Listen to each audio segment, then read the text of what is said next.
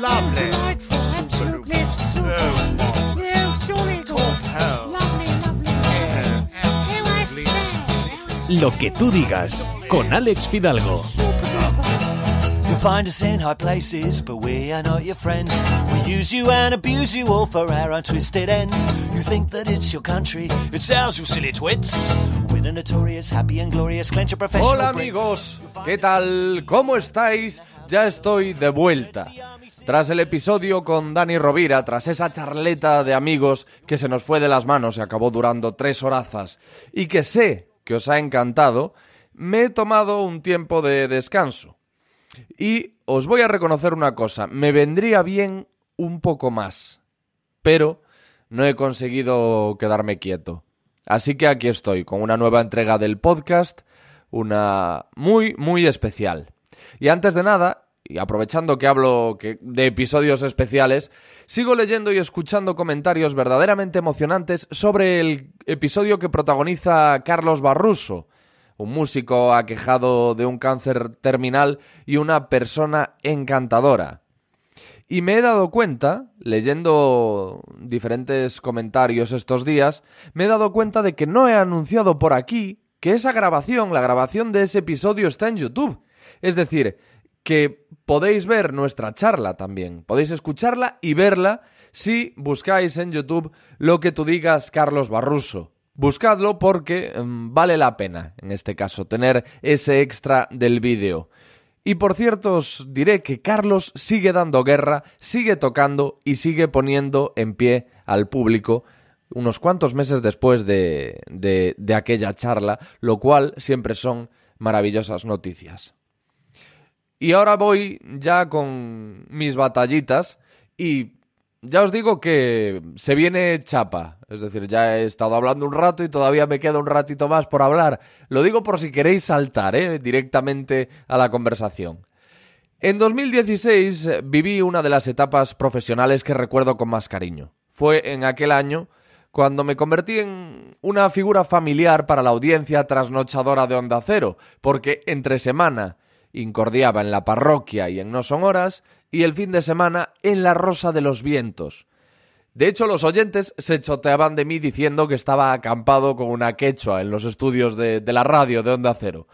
Estoy muy orgulloso por haber formado parte de La Rosa. Y pocas veces en mi vida, os lo digo con total sinceridad, pocas veces en mi vida he disfrutado tantísimo como disfruté trabajando allí con Bruno Cardeñosa, con Silvia Casasola, con la tertulia del domingo con Manuel Carballal, Miguel Pedrero, Lorenzo Fernández Bueno, con Juanjo Sánchez Oro, con Josep Guijarro, todo tíos geniales que me acogieron con un cariño que no voy a olvidar nunca y además hablamos de gente a la que admiro muchísimo y de la que no dejé de aprender ni un solo día de los que pasé allí. Y todavía sigo aprendiendo, ahora solo como oyente.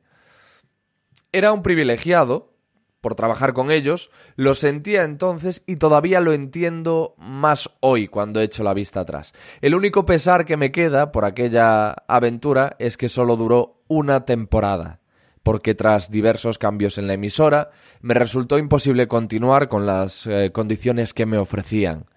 Ojalá pudiese haber seguido. Y os hablaba de lo bien que conecté con todos los miembros del equipo de La Rosa, pero tuve una química especial con Bruno. Antes de cada programa nos reuníamos solo por el placer de charlar. Nos desahogábamos el uno con, con el otro y nos poníamos al día. Hay gente con la que conectas y gente con la que no. A mí por lo menos es lo que me pasa y quien me conoce sabe que yo estoy incapacitado para forzar la conexión o para fingirla. O tengo esa química con la otra persona o, o no hay nada que hacer. Yo no puedo. Y mira que me jode esto. Porque a lo largo de mi carrera profesional he visto a, decenas de personas que son capaces de impostar esto como quien se cambia de camiseta. Y les va mucho mejor que a mí. Pero bueno, yo afortunada- afortunadamente con Bruno sí tenía esa química de la que os hablo y la sigo teniendo. Y seguramente por esa razón, en una de nuestras pequeñas tertulias en redacción antes del directo, me habló de la esclerosis múltiple. De la suya, de la que él padece. Le habían detectado esa enfermedad con un nombre tan feo después de hacerle una resonancia. y a partir de aquella confidencia me mantuvo al tanto de su batalla, de sus progresos, de sus baches. Y yo, por supuesto, jamás he comentado nada al respecto con nadie que no fuera él. Y fue el pasado 10 de junio cuando Bruno, cuando mi paisano gallego decidió contárselo al mundo a través de Twitter, con un par. Y por supuesto, como era de esperar, en cuestión de minutos, las redes se llenaron de miles y miles de mensajes de ánimo, de cariño y de energía positiva. Y para, el para cariño, el que Bruno me ha vuelto a mostrar a mí, porque me ha abierto las puertas de su casa y me ha hablado con total honestidad y sin fisuras de esta salida del armario, como la definen los pacientes de esclerosis, y del por qué decide contarlo ahora y también de su lucha diaria. Me ha hablado a mí y ahora os va a hablar a vosotros. Esa es la magia de lo que tú digas. Bruno, amigo mío, eternamente agradecido.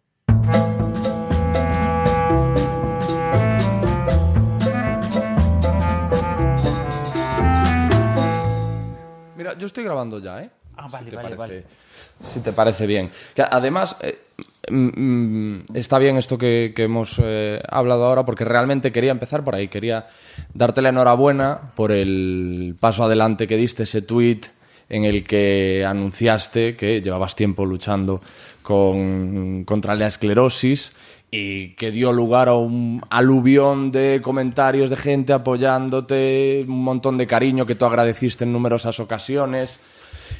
Bueno, hay, hay varias cosas. eh. Una de ellas que tú sabes, eh, ese tema nunca ha sido secreto. Eh, lo que no ha sido es público. Sí. O sea, mm, yo lo puedo contar a mi entorno cercano, al que le importa, al resto Claro. no. Pero al que le importa, pues lo he podido contar y he sido más o menos abierto, pero no lo he hecho público. Eso fue el momento de hacerlo público, que no respondía a un empeoramiento de la enfermedad, ni a un mejoramiento, ni, ni a nada. Respondía a una fecha y, y a una ocasión. Pero no era referente a que yo estuviera peor o estuviera mejor. Eh, porque en esto no se está mejor ni se está peor. Se está de más tiempo o de menos tiempo y siempre se va a estar eh, de más tiempo, ¿no? Entonces, bueno, pues y había llegado el momento, se habían quemado varias etapas y una de ellas es decírselo a mi familia más cercana, que es mi madre. Mis hermanos lo sabían. Y mi madre hace meses eh, que lo sabe y ya una vez que, que eso, yo me liberé y había que, digamos, destensar esa paso. parte, ¿no? Y el siguiente paso era hacerlo en público y también sé que es una enfermedad sobre la que hay no solo poco visibilidad, sino que hay un desconocimiento enorme. Pero todo el mundo la ha oído mencionar, pero hay un desconocimiento, una equivocación o- y a veces es un poco irritante, ¿no?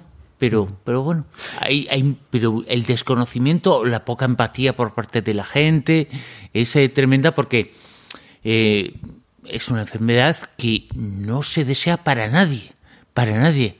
No es una gripe, esto no es una gripe, esto es muy grave. Y la gente, y como hay algún caso, y como los síntomas, salvo los muy visibles, que las silla de ruedas no se ven, Como en casos muy avanzados. ¿no? Claro, y, y sí, las silla de ruedas hay en algunos que se dan desde el primer día y otros que no se dan nunca. Antes se daban el 70% de los casos, que ya está bien. Ahora se dan el 20-30, un poquito menos eh, porque han mejorado los eh, tratamientos, eh, pero no quiere decir que la movilidad haya mejorado para, para todo el mundo. Yo no tengo la movilidad de antes, yo llevo cuatro años sin correr. Eh, y- o- o sin, sin correr no, sin andar rápido. O sea que... Claro que la movilidad se perjudica, pero ya no hay silla de ruedas. Pero aunque no se vea algo aparentemente al kilómetro, no quiere decir que, que no lo haya, ¿no? Has dicho ahora que tu madre lo sabe desde hace unos Sí. meses y eso me ha recordado que cuando yo trabajaba No contigo, sabía. que de vez en cuando hablábamos del tema, tu madre no sabía nada No. y, y de- la teníais súper protegida, tus hermanos sí lo, sí lo sabían. Claro. Y, y habíais decidido no decirle nada a, a tu madre. ¿Y por qué llega un momento en el que decís, ahora toca... Porque y pienso acertada o equivocadamente que eh, ya había una serie de síntomas mm, muy poco visibles, pero que ella podía ver y notar. Y entonces, antes de que hiciera preguntas o antes de que se enterara por otro lado, porque siempre puede haber alguien, un día estoy contigo y está mi madre y me dice, oye, dotar sobre la medicina hoy. Entonces mi madre diría, ¿qué, ¿Qué medicina? medicina? Claro, ese tipo de cosas llega un momento en que ya no se pueden eh, salvar o, o estar pendiente de, de todo, ¿no? Entonces es una forma de, de liberarte y de no tensarte con, con eso, ¿no? Y estaba en Galicia el verano pasado con, con ella. Digo, lo que me cuesta subir las cuestas. Tú sabes en Galicia que hay muchas cuestas, ¿no? Sí. En todos los sitios. Lo que me cuesta, lo que me cuesta, voy cojeando. Eh, un primo mío me- que, que va con muletas me decía, más más cojo que yo. claro, y no, no sabe. Pero ese tipo de cosas, bueno, pues es una forma de, de acabar con esas cosas y que tampoco se merece mi madre que se entere por otro lado. Claro, tú tenías mucho miedo de Claro, eso, de claro. que se enterase por un despiste o porque alguien se lo dice se lo y no dijera, eres tú. entonces, bueno, pues había que decírselo. Y luego ella no había notado eh, ciertas cosas que yo pensaba que se había notado. Por un lado, estupendo, y por otro, me podía haber callado. Igual, pues igual sí, igual no. Pero bueno, eh, también a Madrid venía poquito porque yo la protegía, ¿no? No quería que me viera subir escaleras, no quería que me viera ir al médico, ese tipo de cosas. Bueno, pues ese tipo de protección, al ya no estar, digamos que descensa mm, la situación, no tu cuerpo, tu mente, que no, pero descensa un poquito. Y, y son etapas que, que hay que pasar y que hay que atravesar. Igual que no hay que pasar la etapa, creo yo, en mi caso, de cuando me pasé a decírselo, porque no se lo merece tampoco mi madre, ¿no? ¿Y ella cómo se lo tomó? Porque normalmente la gente que, que no está familiarizada con el término, lo primero que se le viene a la cabeza es Stephen Hawking y el ELA. Exacto, sí, sí, sí, sí. Mm, eh, uno de los mensajes que, que recibí el- a- después de hacerlo público, la mayor parte de gente, el- no, la mayor parte de gente no, todos son mensajes de cariño, de apoyo, pero hay alguno que dice, ¿ya compartes algo con Hawking? Digo, no, no comparto nada, no comparto nada, ni siquiera enfermedad, no, no, no lo comparto, no tengo eso, no, pero, pero sí que la gente eh, lo equivoca con, con eso. Eh, por el nombre, no sé por qué la esclerosis lateral amiotrófica tiene el nombre de esclerosis. Lo mío tendría sentido etimológicamente hablando, el otro no. Los eh, primeros síntomas sí son muy parecidos, pero el, el ELA va a toda velocidad y esto no va tan tan rápido, ¿no? El ELA es muy destructivo, es muy... eh, en dos años ha podido destruir tu vida por completo. Claro, ¿no? el, el tema con Stephen Hawking es que, es que tiene una de, la, de los casos de ELA, tenía uno de los casos de ELA más lentos de la historia, ¿no? Sí. O sea, la, la- el declive era el mismo que el de un enfermo de ELA, Sí. pero muchísimo, muchísimo, muchísimo más lento y por eso vivió tantos años. Eso es lo que tengo entendido, ¿no? Eh, Stephen Hawking eh, tenía una versión, entre comillas, benigna de, de eso, ¿no? Que no es nada benigna, pero Ya. sí que le hacía vivir más. Pero lo cierto es que, por ejemplo, la esclerosis múltiple sí es neurológica, el ELA no es neurológico. No quiere decir que. Porque afecta más a cosas. Pero la esclerosis múltiple, hay mucha gente que sigue pensando que es una enfermedad de los huesos y, y sigue pensándolo. Para nada. No es una enfermedad de los huesos. Claro que tiene una influencia no sobre los huesos y sobre las articulaciones, sobre los músculos, porque las señales eh, que da el cerebro no llegan eh, rápido o no llegan. Hay como interferencias en el camino intermedio. Pero no es una enfermedad de los huesos. No se deteriora el hueso, no se deteriora el brazo, la pierna. No. No se cogía porque te falla el fémur. Es porque te falla el cerebro, te falla la neurona. Y que es eh, la enfermedad, es neuronal. Y en el ELA, eh, los eh, primeros síntomas pueden ser muy parecidos, pero por ejemplo en mi caso fue en cierto modo una liberación el diagnóstico porque los síntomas eran muy parecidos y una liberación entre comillas Porque de las opciones- ya tenía que ser una de las dos cosas o era esclerosis múltiple o era ELA porque Ya. Ya estaba tan tan claro y entonces entre las dos opciones te quedas con la esclerosis múltiple no evidentemente porque porque es, tiene largo recorrido aunque es muy jorobada pero es que la otra es yo creo el peor diagnóstico que existe en el mundo yo creo que el peor Sí. Sí, porque aparte de que es una sentencia de muerte, es una sentencia de muerte lenta y dolorosa, ¿no? Sí, sí, sí, sí, sí. Y, y y invalidante en el sentido Claro. de que eh, la persona que lo tiene todo, le pasa todo. Eh, aparte de lo que se puede ver, no anda, no ve, no Deja de tal. tragar. Claro, Todo. eh, es una enfermedad que tiene mucha afección en el sistema Es como que respiratorio. de los, de los pies hacia arriba va fallando Todo va. ¿no? Sí. Va fallando todo. por- Sí, sí, sí. Por ejemplo, lo que es el, el- la digestión, lo que es el comer, el proceso de comer. Sí. Una persona con esclerosis puede tener sus eh, problemas porque influyen muchos eh, músculos. Pero bueno, puede hacerlo. Una persona con ELA sufre mucho. Ya. Sufre mucho porque se atraganta en exceso, Sí. no puede hacer sus necesidades, eh, no le funciona el intestino bien. Bueno, es, es terrible el. Hablábamos de esto, de la confusión entre el, ELA y la esclerosis por el momento en el que le dices a tu madre que lo que tú Sí, tienes es esclerosis no, pero mi, múltiple. mi madre, en ese sentido, como ha trabajado en hospitales toda Ah, la vida, vale. no tenía. Vale. eh, es eh, médico o enfermera, eh, eh, celadora. celadora. Pero no. Bueno, pero es parecido a enfermera. Sí, ¿no? sí, sí, sí, sí. Pero no. O sea, tenía la suficiente información para saber que no era lo mismo y que no tenía nada, nada que ver, ¿no? Entonces, bueno, se lo ha tomado pues, como una madre. Pues, y al día siguiente ya está muy pendiente a qué hora te has levantado, porque con WhatsApp se, se puede ver. Se, Sí. Ahora me espía, me, te has acostado a tal hora, te has levantado a tal hora, te has... Bueno, son las cosas de, de la madre que Ya. hay que permitirlas y, y- y no pasa nada, ¿no? A ti te tienen arropadísimo, porque yo, Sí. yo, yo sé que tus hermanos te- a- a- estaban haciendo un placaje importante ya contigo en aquel, en aquel entonces, hace- Eh, cuando eh, estaba yo contigo. no, En aquel entonces, ahora y mañana. Y mi hermana, por un lado, más eh, coherente. Pero tu hermano... Pero mi hermano es todos los días, a todas horas. Bueno, eso se agradece, porque una de las cosas que yo he tenido muy buena en esto, mm, que yo no sé, no hay cosas eh, buenas, eh, solo habría una cosa buena y es Ya. no tenerlo, ¿no?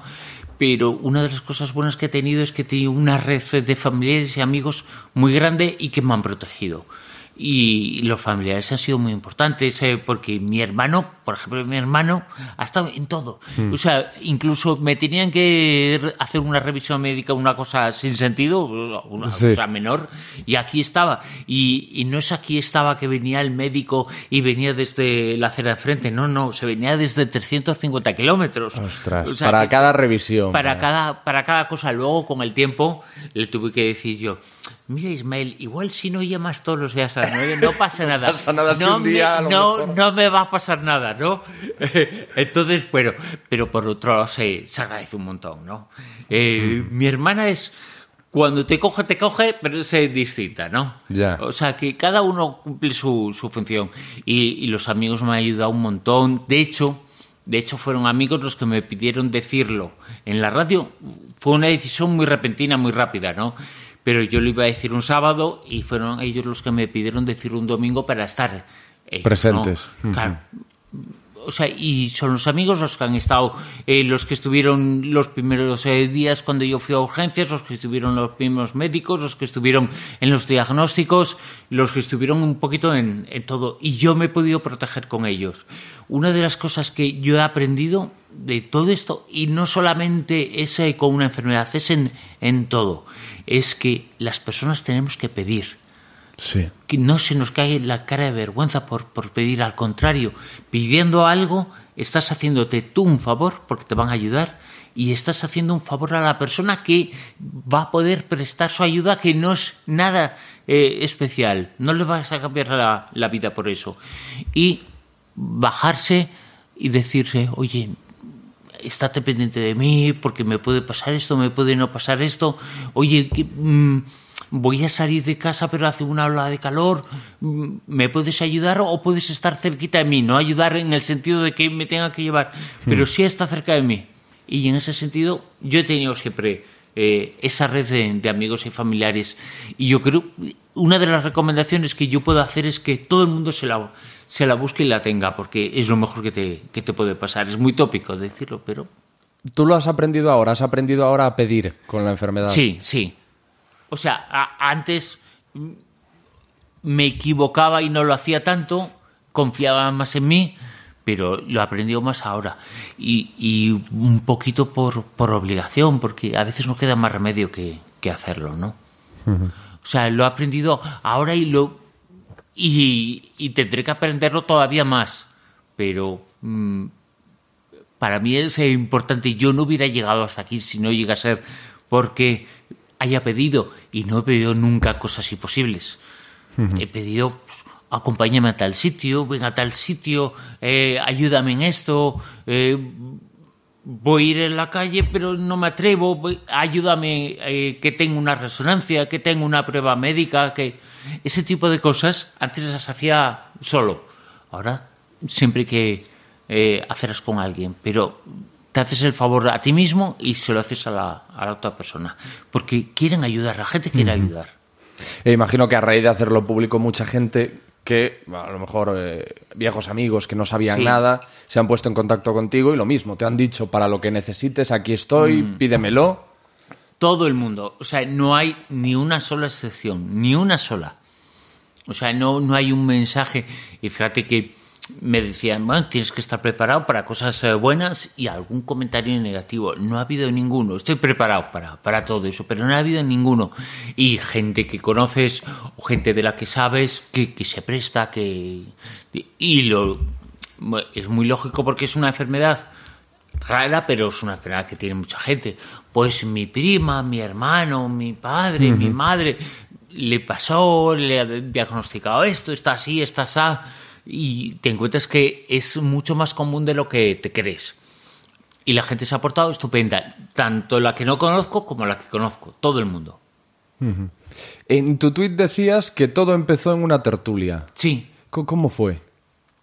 Em, lo que es el diagnóstico, Sí. digamos. Y, y posiblemente la enfermedad estaba ahí antes, ¿no? No se desencadenó ese día, ¿no?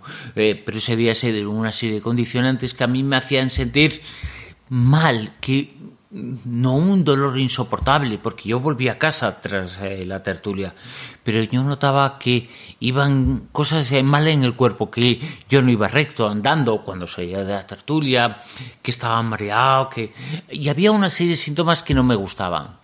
Entonces esperé unas horas y le dije a una persona de la tertulia, a Miguel eh, Pedrero, oye, me sigo encontrando raro, acompáñame al médico, va- voy a urgencias. Y fui a urgencias, me trataron muy bien en ese sitio de, de urgencias, me hicieron una serie de pruebas, me dijeron que no notaban nada, pero que me pedían ser ingresado. Luego, como era un seguro privado que acababa de darme de alta, me dijeron que, que no me podía ingresar. Me llevaron en una ambulancia a la pública, al Ramón y Cajal.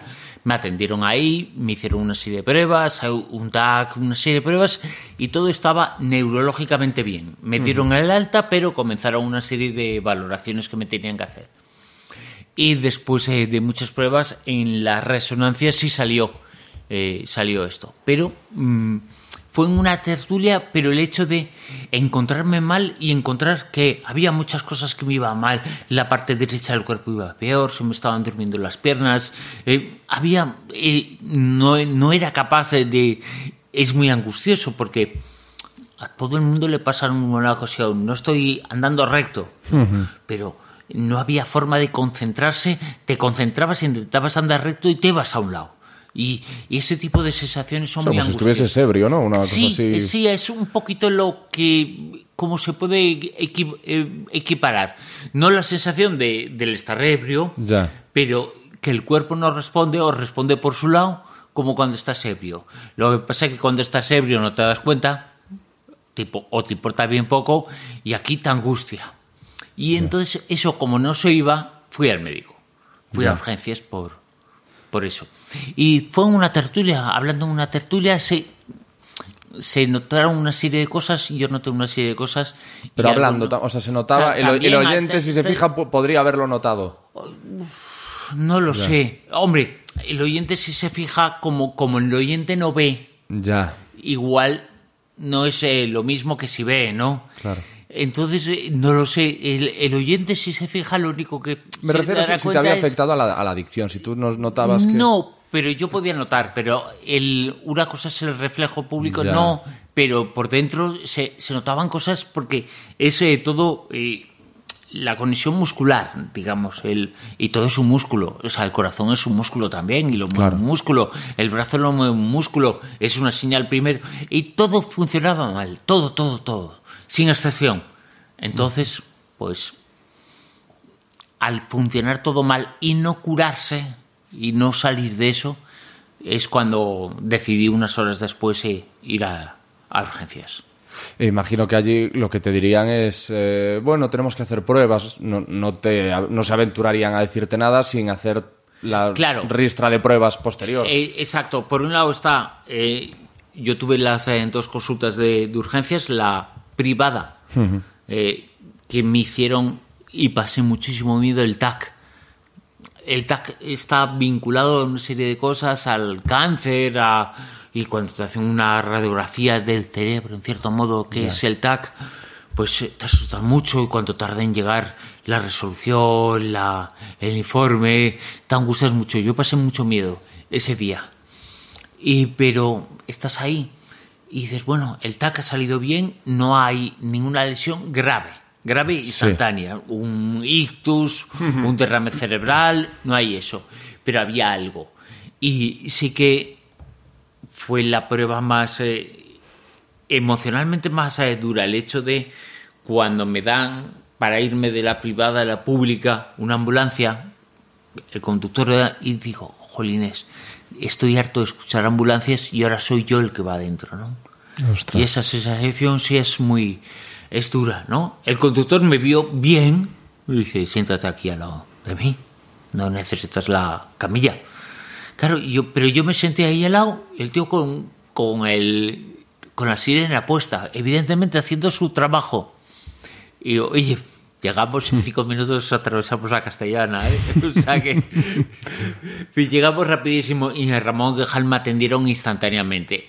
Había un- me hicieron una serie de pruebas en el momento, pero dije algo o notaron algo o vieron algo que no les convencía.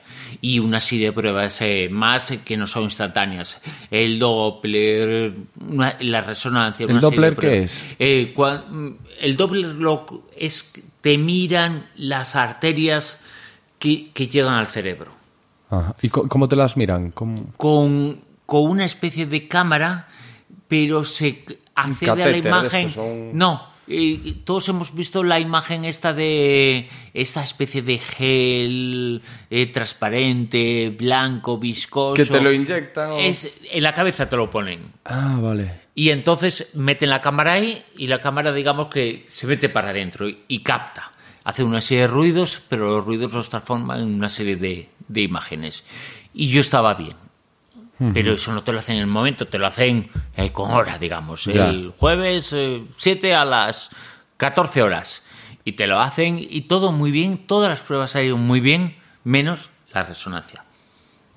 Y en la resonancia, que es donde se capta esto, sobre todo, ahí ya aparecían las, las placas, eh, lo que se llama las placas, que son las partes de neuronas que se han muerto y, al- y le llaman múltiple porque son muchas y al ser muchas eh, se juntan y la esclerosis entonces se, se, ve con un agujero, con una placa, con una cosa brillante, y- pero es por eso que le llaman eh, múltiple. Son muchas pero pequeñas lesiones, pero al estar juntas pues eh, por eso le llaman esclerosis eh, múltiple.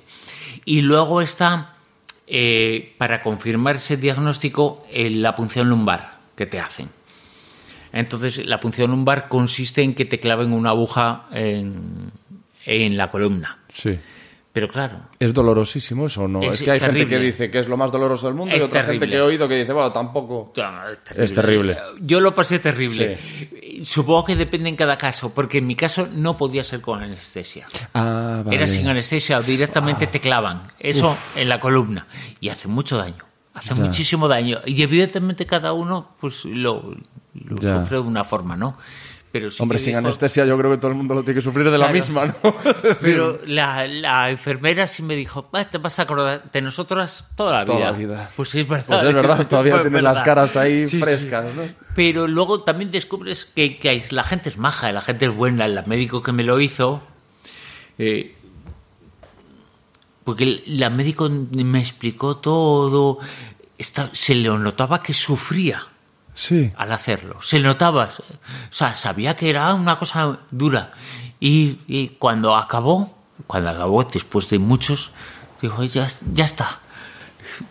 A, a mí en ese momento en- hubo tanto dolor que me dieron ganas de, de darme la vuelta, pero como era una- un médico guapa, pues, pues, pero, pero claro, fue muchísimo dolor, fue muchísimo dolor. Y fueron, y en esa prueba lo que hacen es, al sacarte un poco de líquido de la columna, en el líquido hay una serie de bandas que se ven, que yo no entiendo cuáles son, pero esas eh, bandas, si tienes esclerosis, se marca de una forma diferente. Entonces analizan eso, analizan esas eh, bandas eh, de líquido acefalorraquídeo. se llama. Y al analizarlo confirman el eh, diagnóstico anterior. Y en mi caso se confirmó. Ya. Y cuando, en el momento en el que te dicen, mira, lo que tú decías, tienes estas dos opciones. El momento que tú te sientas con la doctora y te dice, bueno, Bruno, ya hemos analizado todas las pruebas y hay estas dos posibilidades. No, eh, Ah, no. nunca me dijeron que había dos posibilidades, eh, solo valoré yo. Ah, vale. O sea, hubo dos diagnósticos, digamos. El eh, primero al de resonancia, porque a mí me llamaron del hospital para decirme, oiga, tiene que hacerse otra vez la resonancia. Digo, ¿y por qué? Y dice, ¿no lo ha explicado el médico? Digo, no, tengo hora mañana. Ah, se habían adelantado. Entonces, cuando yo fui al hospital, nadie me supo explicar ahí, eh, nada. Al día siguiente fui al médico. Una angustia de la hora, leche ahí. Y entonces ahí sí te dice, te han pedido hacer otra vez el- la resonancia para ver si sale lo mismo, porque lo que ha salido es esto. Ha salido una serie de síntomas de enfermedad que la esclerosis múltiple no es eh, el nombre técnico que tiene, es una enfermedad desmilianizante. Desmielinizantes. Sí, que la mielina de las eh, neuronas, el aceite de las neuronas, eh, digamos que, que se pierde, ¿no? Sí. Y entonces eso es lo que, lo que te dicen. Y ahí, ahí el primer diagnóstico. Y el segundo es unos meses después, otra neuróloga que te dice el diagnóstico en función del análisis de, de la punción lumbar. Y ese segundo diagnóstico confirma el primero. Es en el periodo entre los dos, cuando yo tengo el miedo, digo, bueno, ¿y si lo que me han visto es ELA? Porque ah, solamente había esas eh, dos posibilidades por los síntomas, por la clínica. Solamente había esas dos posibilidades, pero nunca me dijeron eh, lo del ELA. Nunca me dijeron esa, esa posibilidad. Es un miedo personal que, que Ya. se tiene, ¿no? Pero nunca me dijeron, tienes estas eh, dos posibilidades, puede ser o esto o lo otro. No, me dijeron, o es esto o es... No tenemos ni idea. Ictus. Pero el ictus lo utilizan para todo. El ictus Y es lo una habían falta de des- riego. descartado con el TAC, ¿no? Sí, no, pero el ictus es consangración. Lo habían Ah, vale. Pero el primer diagnóstico que tuve fue de ictus, de falta de riego. Porque hay muchos tipos de, ictus y de grados. Una cosa es un ictus eh, grave con sangrado y otra cosa es un ictus sin sangrado que no se percibe en el TAC, el sangrado. Y al no percibirse en el TAC, pues puede ser, claro. Y entonces el primer diagnóstico que tuve fue de ictus lacunar, un ictus pequeño Ya. una falta de riego que me ha generado es, esa sensación de, de- de inestabilidad, de, de, mm, Desorientación. de- exacto, de síntomas que son muy parecidos. Pero ojo, también es un diagnóstico que tienen muchas personas con lo mío. Lo mío es un diagnóstico que viene después de una serie de pruebas y el primer diagnóstico que tiene casi todo el mundo es ictus, y, el- y el porque momento, se parece bastante. Y el momento en el que se confirma y te dicen lo que tienes es esto, tú eso como te re- recuerdas cómo reaccionas o qué, Em, qué piensas. Es decir, yo soy de, de pensamiento lento, ¿no? O sea, hay dos, eh, dos momentos que es cuando me lo dicen por primera vez, el impacto es eh, brutal, porque dices, jolín, me acaba de cambiar la vida, pero yo estaba como, como oído. Yo recuerdo que estaba, que lo conoces tú, con José Manuel Escribano, que es el que hace la sección de cine en la El radio, Super 10, en el sí. eh, programa de radio. Yo estaba con él y me lo dijo el médico estando con él, que pobrecillo, sí, esa fue, eso, es- eso se lo llevó él, ¿no? y yo estaba idiotizado. O sea, lo que me acaba de decir era muy grave, pero yo estaba un pensamiento que no lo puedo definir. Incluso cuando eh, mi hermano llamó para decirme, bueno, ¿qué te ha dicho el médico? No, me ha dicho esto. Y dice, anda, pásame con José Manuel a ver si lo has escuchado bien. No se lo O sea, creí. no se lo creía. Claro, dice José Manuel, sí, lo has escuchado bien y lo ha escuchado bien él. Le ha dicho esto. Esclerosis múltiple. Y, y claro, en ese momento tienes miedo, evidentemente. Sabes que tu vida ha cambiado en ese momento, pero seguramente es el efecto del día a día, de los días posteriores y también el hecho de sentirte bien, relativamente bien, hace fuerza. Claro. En el sentido de, bueno, pero no me pasa nada. Claro, es que esto nunca eh, hace efecto el primer día, es, es un progreso, es un... eh, es progresivo, no es... eh, Es gradual. es gradual, no, no hay una fecha a partir de la cual eh, tú estés peor, ¿no? Entonces, bueno, pero cuando me lo confirman, se produce esa, do- esa doble reacción. Una que al no ser ella, te liberas y por otro dices, bueno, se confirma que la vida me ha cambiado y a partir de ahora tengo que estar medicado toda mi vida, el resto de mi vida, cuidándome el resto de mi vida, me puede pasar algo el resto de mi vida, me puedo quedar inválido cualquier día del resto de mi vida, eh, puedo perder el trabajo cualquier día del resto de mi vida y a partir me puedo quedar ciego el resto de mi vida cualquier día, o sea, cualquier día es la inseguridad de que cualquier día todo puede venirse abajo. Eso evidentemente no lo quiero, tiene una parte buena porque te hace vivir y sentir más el, el, El ahora. el- el día a día, pero por obligación, no porque te hayas tenido una iluminación y... No, Es porque no te queda otra. No te queda otra, ¿no? Y tienes que vivir más el día a día y ya está, ¿no? Pero hay mucho, mucha angustia, porque evidentemente piensas en una serie de gastos, piensas también en una forma de vida que, que no se rompe, pero eh, se puede poner en riesgo, claro, porque ya no eres el mismo, físicamente vas a notar una pérdida de capacidades, eh, de fuerza, de mm, capacidad de poder... eh, antes podía leer cinco horas seguidas, ahora me canso.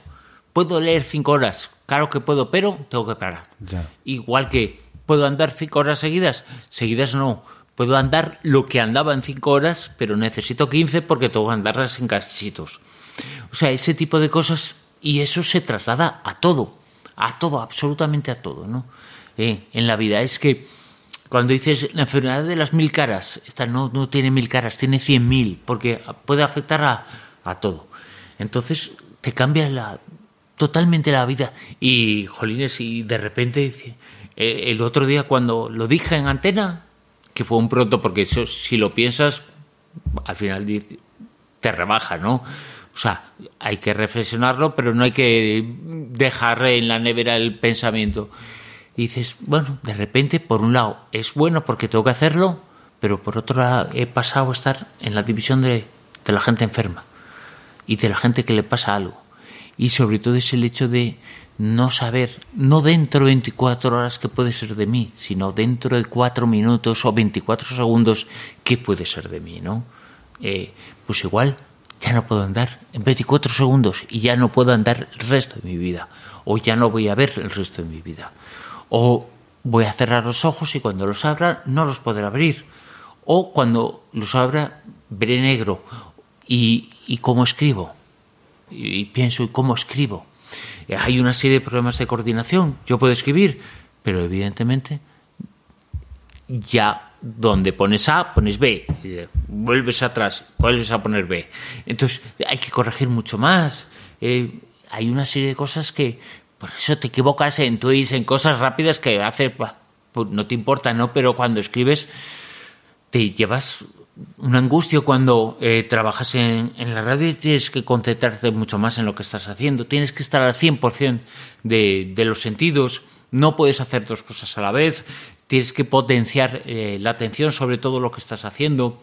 Eh, mm, cosas eh, tan ridículas o tan pocos significativos, como por ejemplo, donde estoy yo. Ahora te estoy viendo detrás de ti, está una ventana. La gente no sabe que una ventana significa que hay una serie de luces y que eh, eso se equivoca en tu mente, que te da una serie de información rara, distinta. Pues sí, eso pasa. ¿Cómo se verbaliza eso? No, no me lo pidas. ¿Qué se puede hacer? Claro, que se puede, pero, pero jorobado. No jorobado. Eh, Por ejemplo, mover la cabeza y, y, y estar oy- oyendo constantemente, crac, crac, crac, crac, el, el cuello que, o que dice, ahora estoy bien y me muevo bien, pero cuando me levante las rodillas me van a doler un montón. Todo- hay una cantidad de cosas, son tantas cosas. Cuando dices, ¿en qué te cambia la vida? En todo, en todo. Tengo, tú, tú lo ves en mi, mi casa, miles de libros, miles de libros. Doy fe. Y, y ya no, antes le daba un valor, digo, esta es mi lucha, ¿no? Mi lucha ya no es esa, ahora es mi estorbo. Sí. Un poco, porque dices, "Uy, ¿y si las cosas van mal, dónde meto todos estos libros? Pero también el tenerlos es lo que te impulsa a, a seguir luchando y seguir eh, haciendo cosas. Y ojo, que yo soy un afortunado, porque yo tengo, es decir, mm, no gano como otros, pero gano más que, que otros. Y tengo, más, y tengo cierto conocimiento. Y yo he tenido la suerte de poder eh, decir públicamente lo que me pasaba. Otros no tienen esa suerte. Y encima recibir el apoyo y el cariño de tantísima y tantísima gente que no me imaginaba que me iban a ayudar. O sea, con sus palabras, eh, si la gente lo supiera, la fuerza que tienen unas palabras, mm, no lo sabe, ¿no? Pero todos y cada uno de los mensajes han tenido una mella buena en, en mi vida. Pero bueno, A mí me hizo mucha ilusión ver la, la reacción. Me sentí muy orgulloso cuando, cuando vi el tuit y me hizo mucha ilusión ver la reacción de la gente porque creo que la audiencia, una parte de la audiencia, es terriblemente injusta contigo, que es otra de las muchas razones por las que yo siento una gra- gran admiración por ti y por tu trabajo. Y es, y es que sé que llevas años y años trabajando un poco contra los elementos, un poco, un poco con, con mucha de la, de la audiencia fiel de tu programa, sin Sí. darte la oportunidad que te mereces. yo a veces he sentido, y creo que tampoco es eh, injusto, un poco de comparación con el pasado, eh, porque yo cogí el programa de una persona que eh, el programa ya existía, el presentador había fallecido, y yo cogí el programa. Eh, evidentemente hay una comparación. Me gustaba más antes, pero no me pida ser como él. No, no, no le voy a traicionar. Y nada que he hecho ha sido con intención de traicionarle, pero evidentemente tampoco me va a traicionar a mí. No voy a hacer algo en contra de, de mis ideas y tampoco es, bueno, pues hago el programa como, como buenamente sé y puedo. Pues eso por un lado. Por otro, eh, sí que hay una serie de críticas, ha habido una serie de críticas que están fundamentadas en eso, que también son ideológicas, que son políticas, que son más que políticas eh, sociales, ¿no? Más que dices, bueno, pues no estoy a favor de, de que existan pobres en el mundo. No me pidas que lo esté. Pero es que tampoco el que estaba antes estaba a favor. No, no le dibujes tú lo que, lo que era, ¿no? Pero me critican por, por eso, ¿no? Y ha habido mucha lucha. Y si la gente supiera, yo he cobrado no menos que lo de antes, sino infinitamente menos. Infinitamente menos.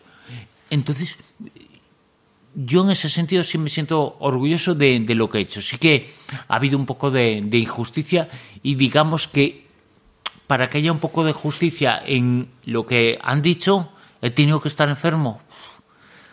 No quiero, ¿no? Pero, pero la verdad es que quizá por eso me ha sorprendido tanto, ¿no? La, la reacción.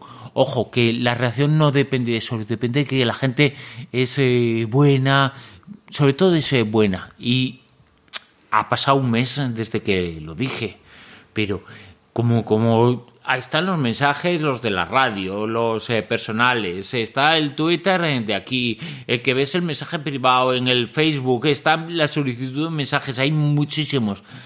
Y siempre vas descubriendo cosas nuevas, y mensajes nuevos. Y todos son buenos, todos son. Incluso el otro día en Instagram hice solicitud de mensajes no sé cuántos. Digo, ¿qué es esto? Y No lo sabías que había ahí una bandeja Claro, oculta. no lo sabía. Y, y empecé a leer. reventar. Empecé a leer y jolines, y eran todos estupendos, pero Qué tan maravilla. estupendos que la gente, yo soy fisioterapeuta, eh, te recomiendo, tal. La gente prestándose a, a colaborar y ayudar, ¿no? Dice, pues bueno, es estupendo. Qué pasada. ¿Y cómo se percibe eso? Es decir, ¿qué, qué, qué sientes tú? Cuando ves el aluvión, cuando empiezas a ver todo lo que te dicen, toda la energía. O sea, es una energía que realmente atraviesa la pantalla, realmente llega a ti. Tú Claro. eh, te levantas al día siguiente de otra forma. Evidentemente, y no te levantas de otra forma, sino que ya en ese momento lo ves de otra forma. Eh, hay un sentimiento dual, ¿no? Yo lo he comentado a comienzo de verano. Eso quiere decir que físicamente me he sentido un poquito peor. Ya. Entonces, claro, con el tiempo dices, pues igual tenía que haberlo hecho a final de verano, ¿no? Pero bueno, ese tipo de cosas eh, no, no las ves en el momento. Entonces, la sensación que tienes es que es precioso lo que me han dicho, pero me lo han dicho porque estoy enfermo. Que eh, ojalá no me lo hubieran dicho, ojalá sí.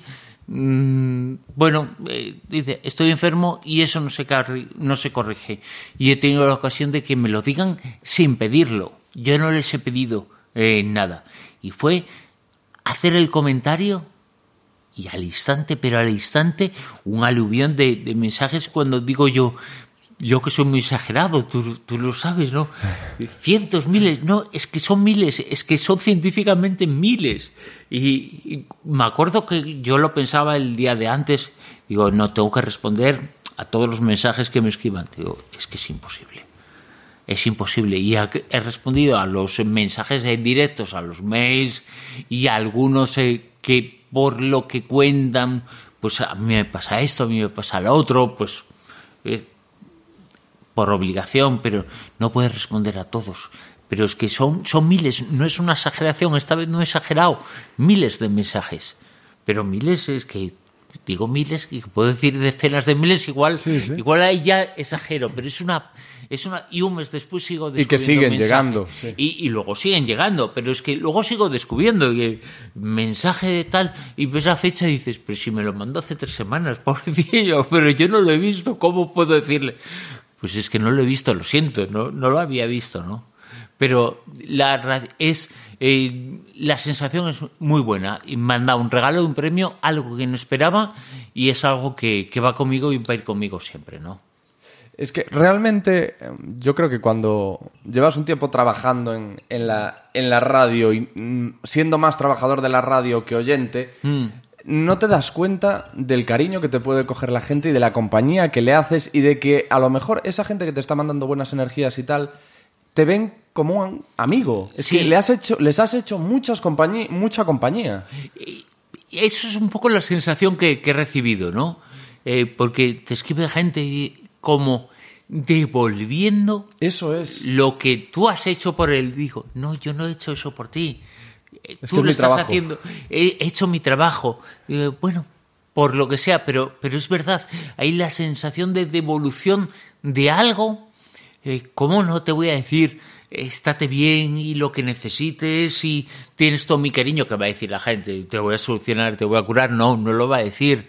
Se, se ponen contigo y viajan contigo y dices, ostras, es que hay un agradecimiento en la gente, es que un día digo, un día tengo que publicar lo, todo lo que he recibido. Y un día lo, lo haré porque ha sido precioso. O sea, hay comentarios que a mí se me han caído las lágrimas muchas veces. No es para menos. joder. Es que dices, ostras, y esta persona que tiene una vida estupenda, porque evidentemente con las redes eh, sociales, pues puedes investigar un poquito a fulanito Sí. y ves la foto con los hijos, ves la foto con el viaje que ha hecho a Zagreb, ves la foto, tiene una vida normal, una vida de sufrimiento, la mayor parte de gente de trabajar y luego de darse algún premio que se lo merece, ¿no?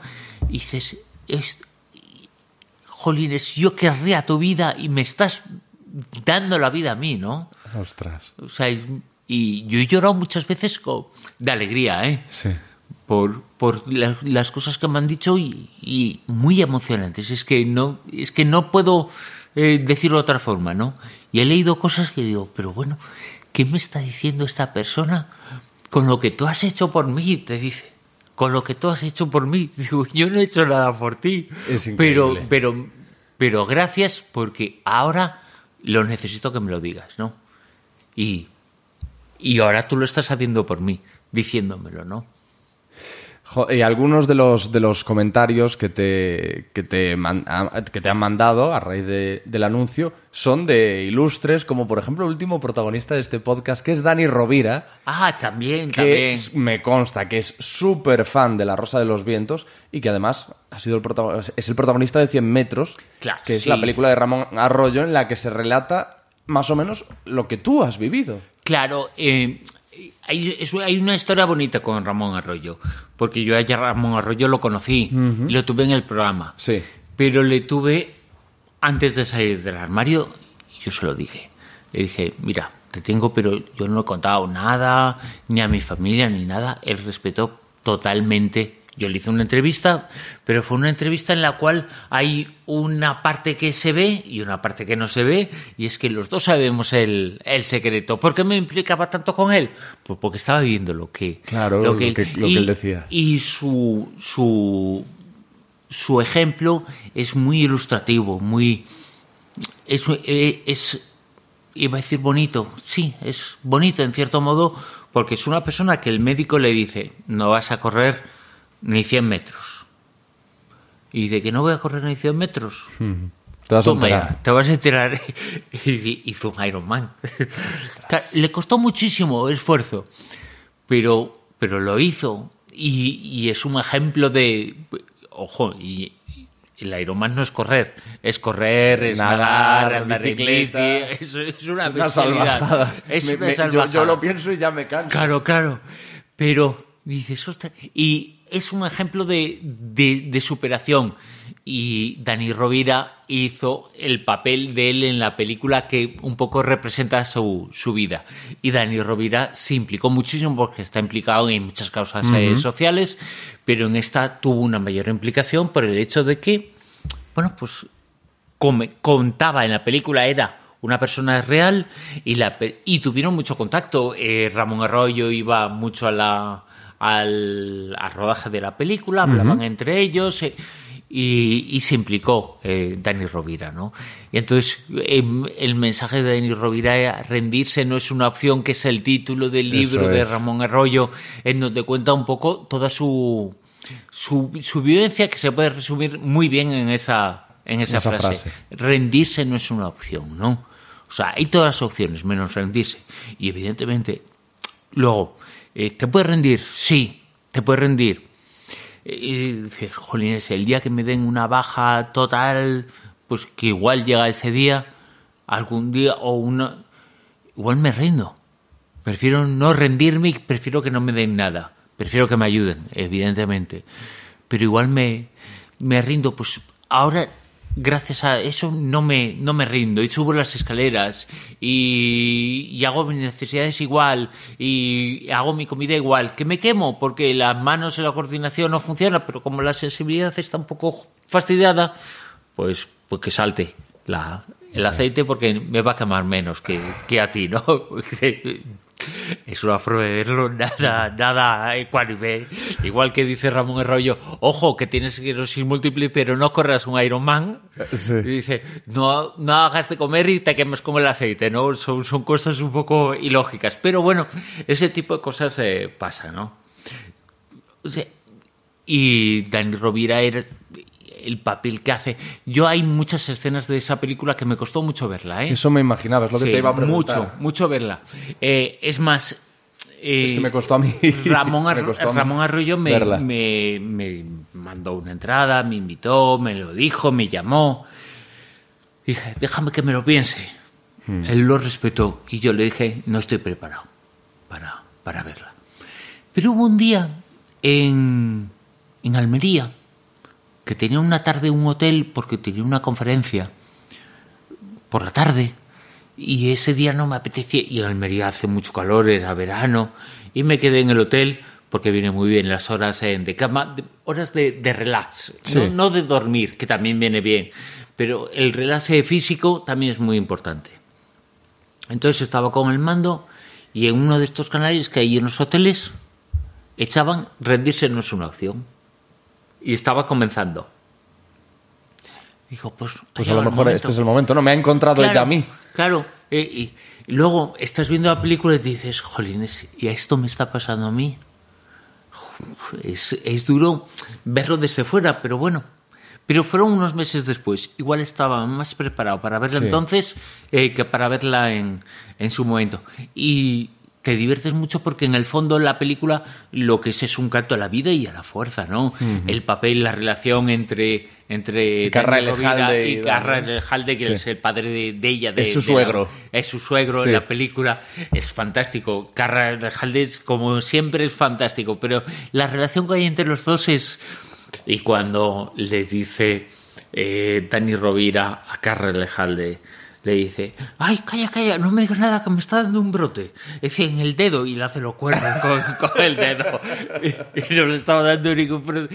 Pero te ríes mucho. Entonces dices, ostras, eh, hay momentos de, de esos. Hay momentos de reírte, de reírse de uno mismo, de reírse de lo que te pasa, no de burlarse. Pero hay, hay esos eh, momentos.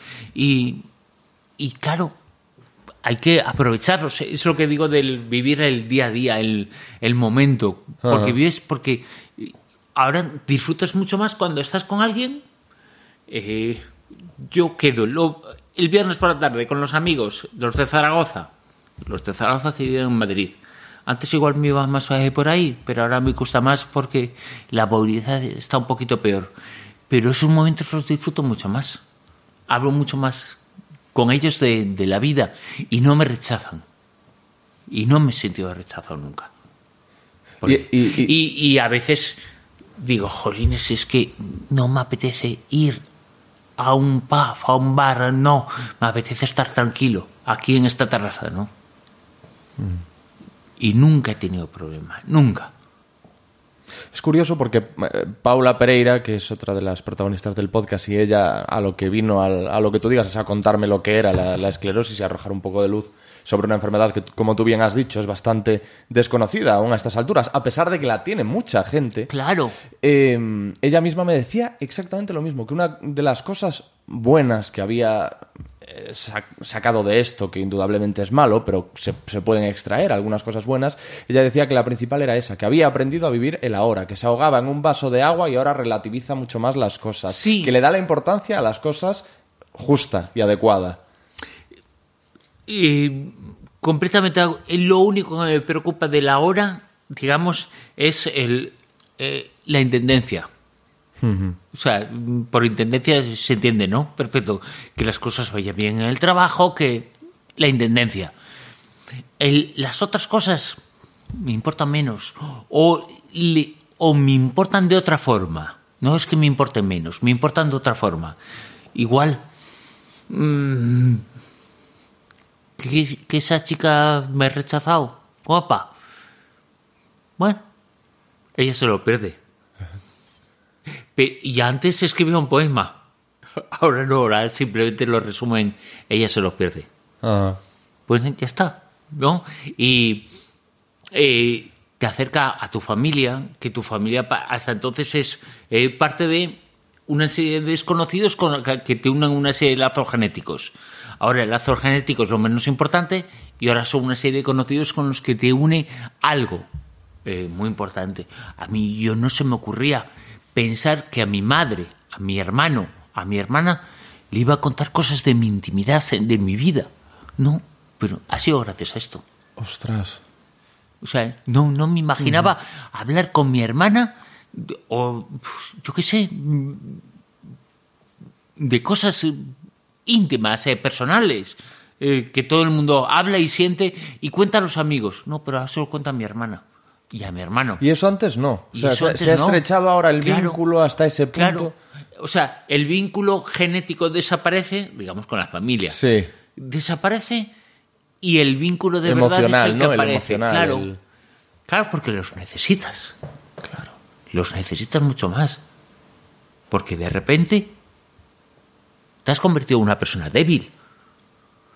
En una persona que en cualquier momento, yo lo quiero ser débil, no quiero tener esa debilidad física además. Sí. No quiero, pero la tengo. Entonces, pues bueno, yo necesito a alguien que, que me sostenga. Y la familia lo hace, ¿no? La familia y los amigos íntimos eh, lo hacen. Y a los amigos íntimos también les puedo decir cosas mucho más claras que antes. Porque lo puedo mandar a la mierda mucho mejor y me entienden y encima me perdonan. Con lo cual tengo una excusa, ¿no? Claro, o sea, tú, al, al ser consciente de tu vulnerabilidad, porque vulnera- Claro. vul- vulnerables somos todos. Sí. Pero tú ahora lo eres, eres consciente de ello, eres más consciente de ello. Mm. Y eso te impulsa, ¿no? A, a- a abrirte, a... Seguramente a- te preocupes más en hacerse sentir querido a quien quieres, ¿verdad? En transmitir tu cariño a quien quieres. A lo mejor antes eras más frío y ahora en cambio... Claro, sí, sí, sí. Eh, pasa el tiempo, entonces analizas, eh, dices, em, ¿qué puedo aportar yo al mundo, no? Eh, el hecho de hacerlo público es un poco el hecho de que qué puedo aportar yo al público, al, al mundo, a mi enfermedad y qué obligaciones tengo. Eh, yo tengo una obligación, algo, una obligación, un- yo me siento obligado a decirlo en público, en parte porque también tengo esa responsabilidad. Si todo el mundo lo conociera, si todo el mundo que, eh, que tuviera una enfermedad eh, lo, lo, lo dijera, pues, pero en este caso eh, no se ha dicho, ha habido una vergüenza y no hay un estigma, no es una enfermedad si no se sabe ni qué la causa, ni qué la puede curar, eh, se sabe qué es lo que pasa físicamente. O sea, se sabe que es la mielina, qué tal, pero la demostración, la clínica, lo que son los efectos puede ser totalmente Las distintos. causas no, no, no se No se saben. sabe Claro. absolutamente nada. Na- nada, pero nada. eh, bueno, se saben, hay, claro que hay una serie de pistas, eh, pero van por, eh, por un lado, las causas genéticas. Gene- y, y las causas genéticas están todas. o sea, es muy fácil decir, causas genéticas no te joroba también la gripe, ¿no? O sea, eh, causas genéticas, causas ambientales, eh, porque antiguamente le llamaban la enfermedad de los vikingos, porque sí que hay una demostración científicamente palpable, lo que pasa que no se sabe la causa, que cuando más al norte, más eh, enfermos hay. Donde menos enfermos hay es en el Ecuador. Donde más enfermos hay es en los países eh, nórdicos. No sé si he leído algo acerca también de la vitamina D, de la relación Claro. con la vitamina D. Y eso, pero la vitamina D, la gente que tiene esclerosis la tiene más baja, pero no es algo perceptible antes. Ya. Es decir, es una consecuencia. Tienes eh, la enfermedad y una de las consecuencias que tendrás es que te baja la vitamina D. Vale. Y la vitamina D es eh, la vitamina del sol y de la luz, para que nos entendamos. Y por eso se llamaba la enfermedad de los vikingos. Porque eh, se supone que les daban menos el sol, entonces estaban recibían menos vitamina D. Es una bueno, eh, a mí me gustó, digo, eh, enfermedad de los vikingos, y, y como, lo- como los vikingos, que eran unos bestias, pero eh, tenemos una buena imagen de ellos, ¿no? Sí. Igual que de los celtas, de tíos Sí. que, con, Rudos y bravos y valientes. pero eran tan brutos como, como otros. Pero bueno, pero dices vikingos, vikingo de los cuernos, es una leyenda, es un mito, ¿no? Vikingo. Sí, es cierto que lo único bueno que hicieron los vikingos es que socialmente eran un poquito más avanzados que los de su época, ¿no? Pero nada más. Y, y luego, por otro lado, está eh, el hecho de que quienes se- las, eh, las informaciones de que puede ser un virus. Y las vinculaciones que están con el virus zoster, con otra serie de virus, pero eh, no se sabe hasta que hasta cierto punto que si el estar expuesto a esos virus lo que hace es que crezca y se fortalezca la enfermedad que ya estaba o crea la enfermedad, no se sabe. Con lo cual no se sabe absolutamente nada. Y claro, saber un poco, conocer la causa también significa conocer la, el remedio o optar a conocer el remedio. Y por eso no hay, no hay ningún remedio definitivo. Hay medicaciones, pero eh, le llaman modificadores. No sé por qué le llaman modificadores, porque no modifican nada de la enfermedad. Ojalá modificaran. Lo único que modifican es tu vida, porque te la tienes que tomar. Pero, y, pero sí que es cierto que mm, son mejores las medicaciones a medida que se va conociendo, pero lo que hacen es palear eh, los efectos, no la causa. No se sabe nada de, de la causa. Se sabe que no tiene nada que ver con, porque estadísticamente, con una actitud, con, con algo, no hay ningún comportamiento. Son personas completamente distintas, con una vida completamente distintas. Y- pero, por ejemplo, se sabe que genéticamente no hay, porque no se da más casos en hermanos eh, gemelos que, por ejemplo, tienen la misma, el mismo condicionante genético. Uno puede tener la enfermedad y el otro no pero uno, los dos han estado expuestos a un mismo virus porque han ido al mismo colegio han ido- y sin embargo uno tiene la enfermedad y el otro no. ¿Por qué? Es que no se sabe absolutamente nada, ¿no? Pero eso también provoca que los tratamientos sean extraordinariamente caros. Es una vergüenza lo caros eh, que son. Es una enfermedad que en países de Europa donde existe una seguridad social se puede so- sobrevivir, pero en Estados Unidos, por ejemplo, el tratamiento más barato, la persona que menos gasta por esclerosis múltiple al año es medio millón de dólares. Es una barbaridad al año, porque el tratamiento es carísimo. Mi tratamiento, que lo cubre la seguridad social, es una vergüenza. Yo me siento muy culpable cada vez que tengo que tomar la, el- la capsulita. Pero mi tratamiento son más de mil euros al día. Bastante más de mil euros al día. Y dices, ostras, cuando cuesta un euro hacerlo. La- las farmacéuticas abusan de, de eso. Y, la sani- y todo esto también me ha servido para fortalecer una serie de, de ideas. Es la necesidad de una sanidad pública y olvidarse de la privada. A mí la privada me mandó a la mierda directamente. Me dijeron, ah, sí, no te puedes quedar porque no has estado lo suficiente. Igual tengo una enfermedad grave. Y les importó un bledo. Pero menos mal que me pasaron a la sanidad pública. Que igual las habitaciones de los hospitales son peores, pero el tratamiento y la gente, aparte que es mucho más empática, la tecnología es mucho mejor, ¿no? O sea, que viva la sanidad pública y si tiene algún problema la sanidad pública es por culpa de que exista una sanidad eh, privada. O sea, yo solo tengo... Esa idea la tenía ya antes, ¿no? Se ha reforzado. pero se ha reforzado muchísimo. Me dice, ¿cómo, hablando de, de gallegos, tú que eres gallego, eh, cómo eh, el de Zara, el dueño de Zara, que, Amancio. Amancio Ortega, que ha cedido?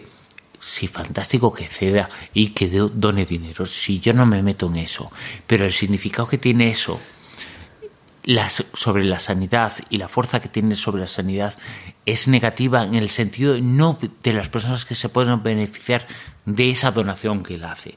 Y que, ojo, y bienvenida y fantástica la donación. Pero lo que tiene que hacer es que sus impuestos fueran a eso. Y, y su dinero. Y que estuviera obligado a eso. Totalmente.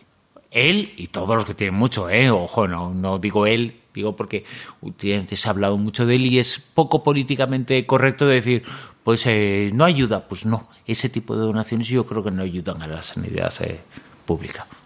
Creo. Es mi idea, ¿eh? Hay, hay un impuesto para millonarios en Francia. Puede ser que yo haya leído algo al respecto y que ese impuesto, eh, lo que allí tendría que donar a Mancio Ortega en un año, es mucho más. Creo que es en Francia y que salió a propósito, la información llegó aquí a propósito de lo de las eh, donaciones eh, por eh, la catedral, por Notre Dame Por en Notre París. Dame. Creo que sí. Y a las grandes fortunas, claro que hay un impuesto muy pequeño, muy pequeño en porcentaje, pero un 1% de, de Amancio Ortega, yo me lo quedo, ¿eh? 1% y un 0,1% también, y un 0,01% y todos los ceros que haya posibles también, me- también que me los den a mí. Es que con un 0,000 muchos, muchos, muchos, muchos ceros, uno de lo, del dinero que tiene Mancio Ortega, podemos, podemos tirar el resto de nuestra vida, pero en generaciones enteras. Pero, man, viviendo como Dios, ¿eh?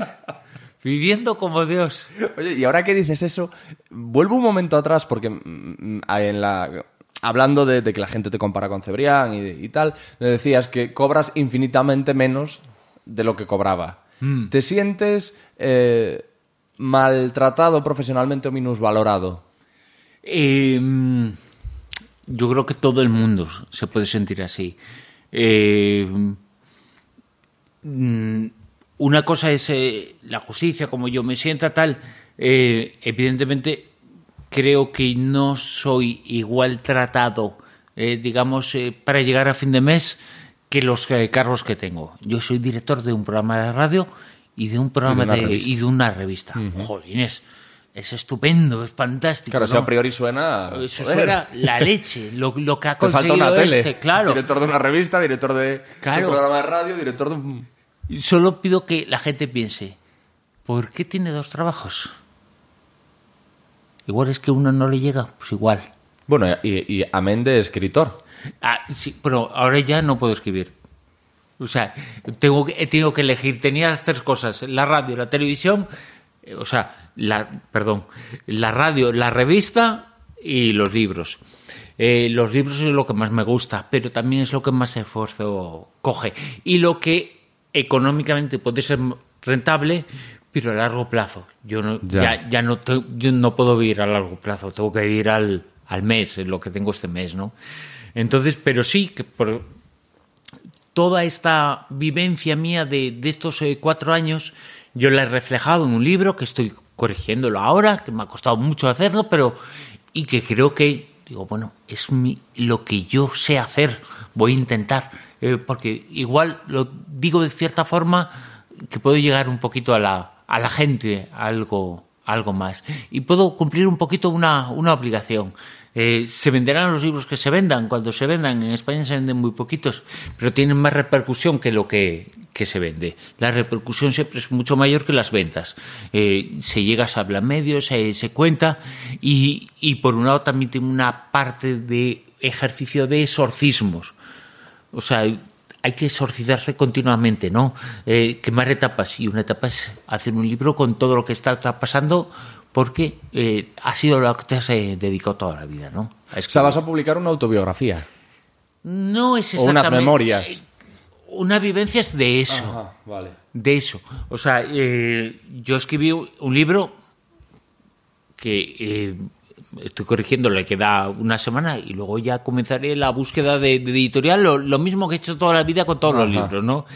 Pero en donde cuento todo desde el día que estuve en el programa de radio, en la tertulia, hasta, hasta hoy. Hasta Ah, que- está centrado en la en, en en- la en esclerosis lo que has to- vivido. to- Ah, total vale, y vale, absoluta. vale, es el testimonio de una persona eh, que ha vivido una enfermedad y que está viviendo una enfermedad y no hay eh, otro tipo de, de experiencias. Es un testimonio personal de, de eso.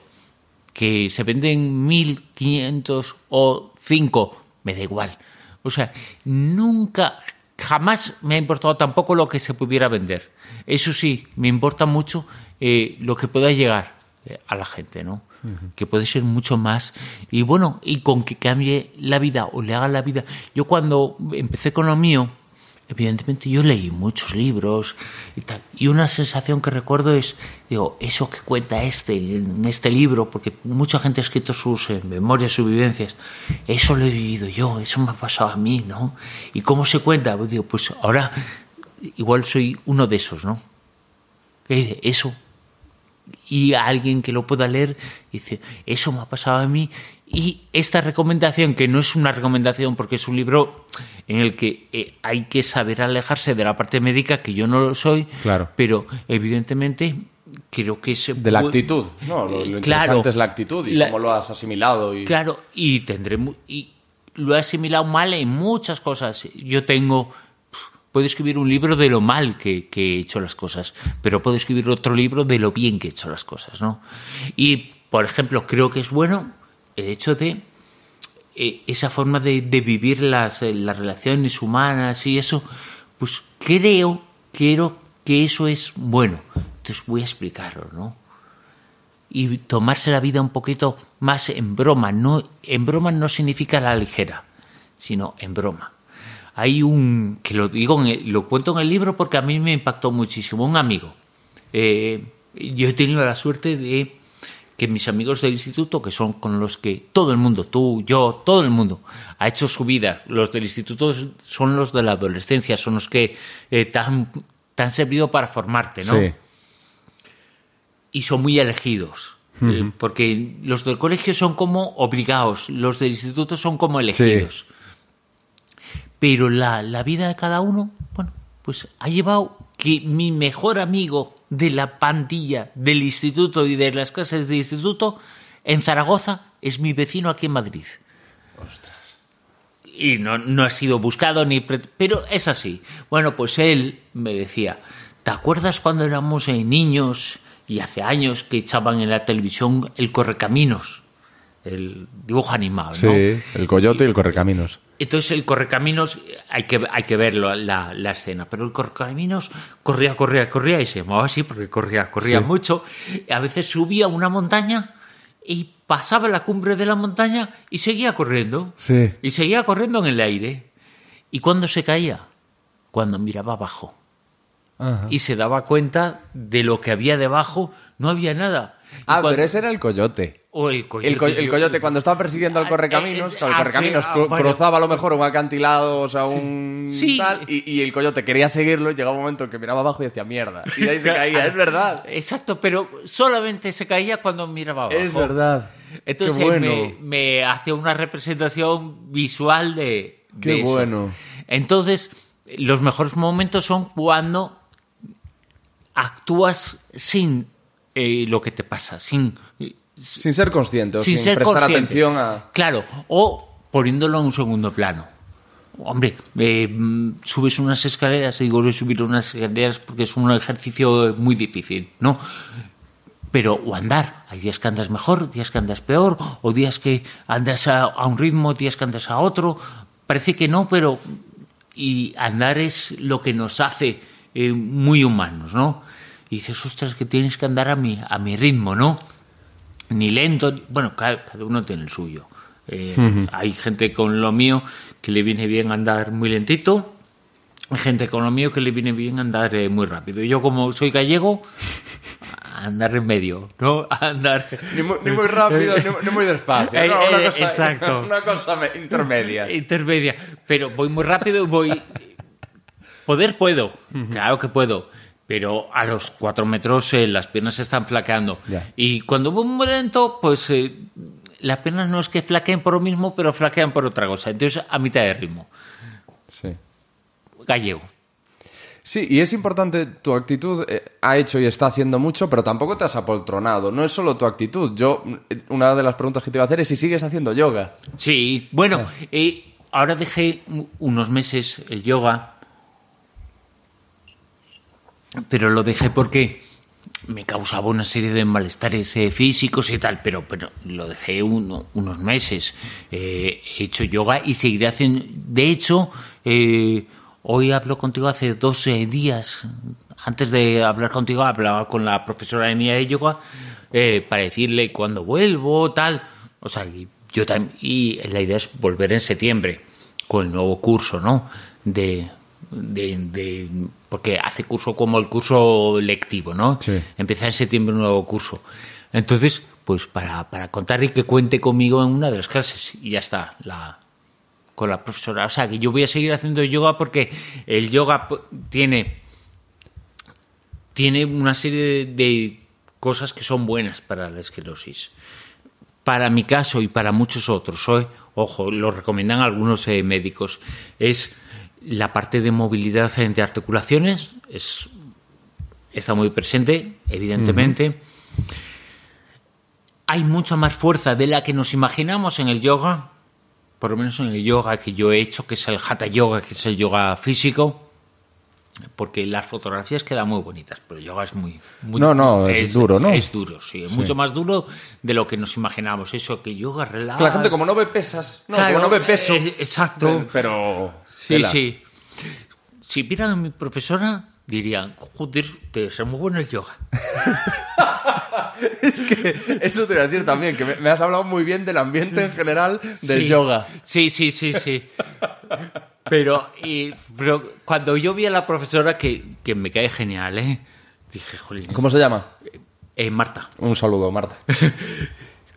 como yo sea el 10% como ella, me doy por satisfecho. Y claro, esa parte del ejercicio físico, tal, eh, ese, claro que es bueno.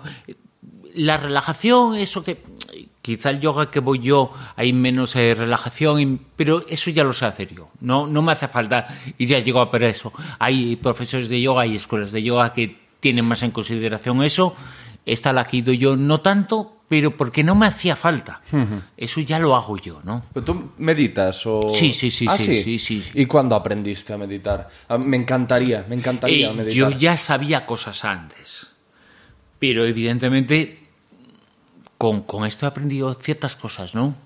Eh, mm, no, no te puedo decir, aprendí tal mes o tal... No, vas a- Pero hay muchos tu- tutoriales, hay programas en el teléfono, apps o eh, O cosas... sea, aprendiste por tu cuenta. aprendí por mi cuenta. Y, y- y leyendo, evidentemente. Lees eh, diferentes eh, cosas y lees diferentes técnicas y tú vas un poco aplicando lo que, lo que a ti te va bien, ¿no? Eh, a- por ejemplo, uh, que tiene mucho que ver con el programa de radio, ¿no? Por el, por el nombre. Eh, el hecho de visualizar el pétalo de una rosa, visualizarlo lejos, visualizarlo, pero es, es difícil, no es tan fácil. O sea, eh, cerrar los visualizarlo ojos, eh, imaginar el pétalo de una rosa. Pero no imaginarlo, sino visualizarlo. O sea, Hay un- hay un matiz importante ahí.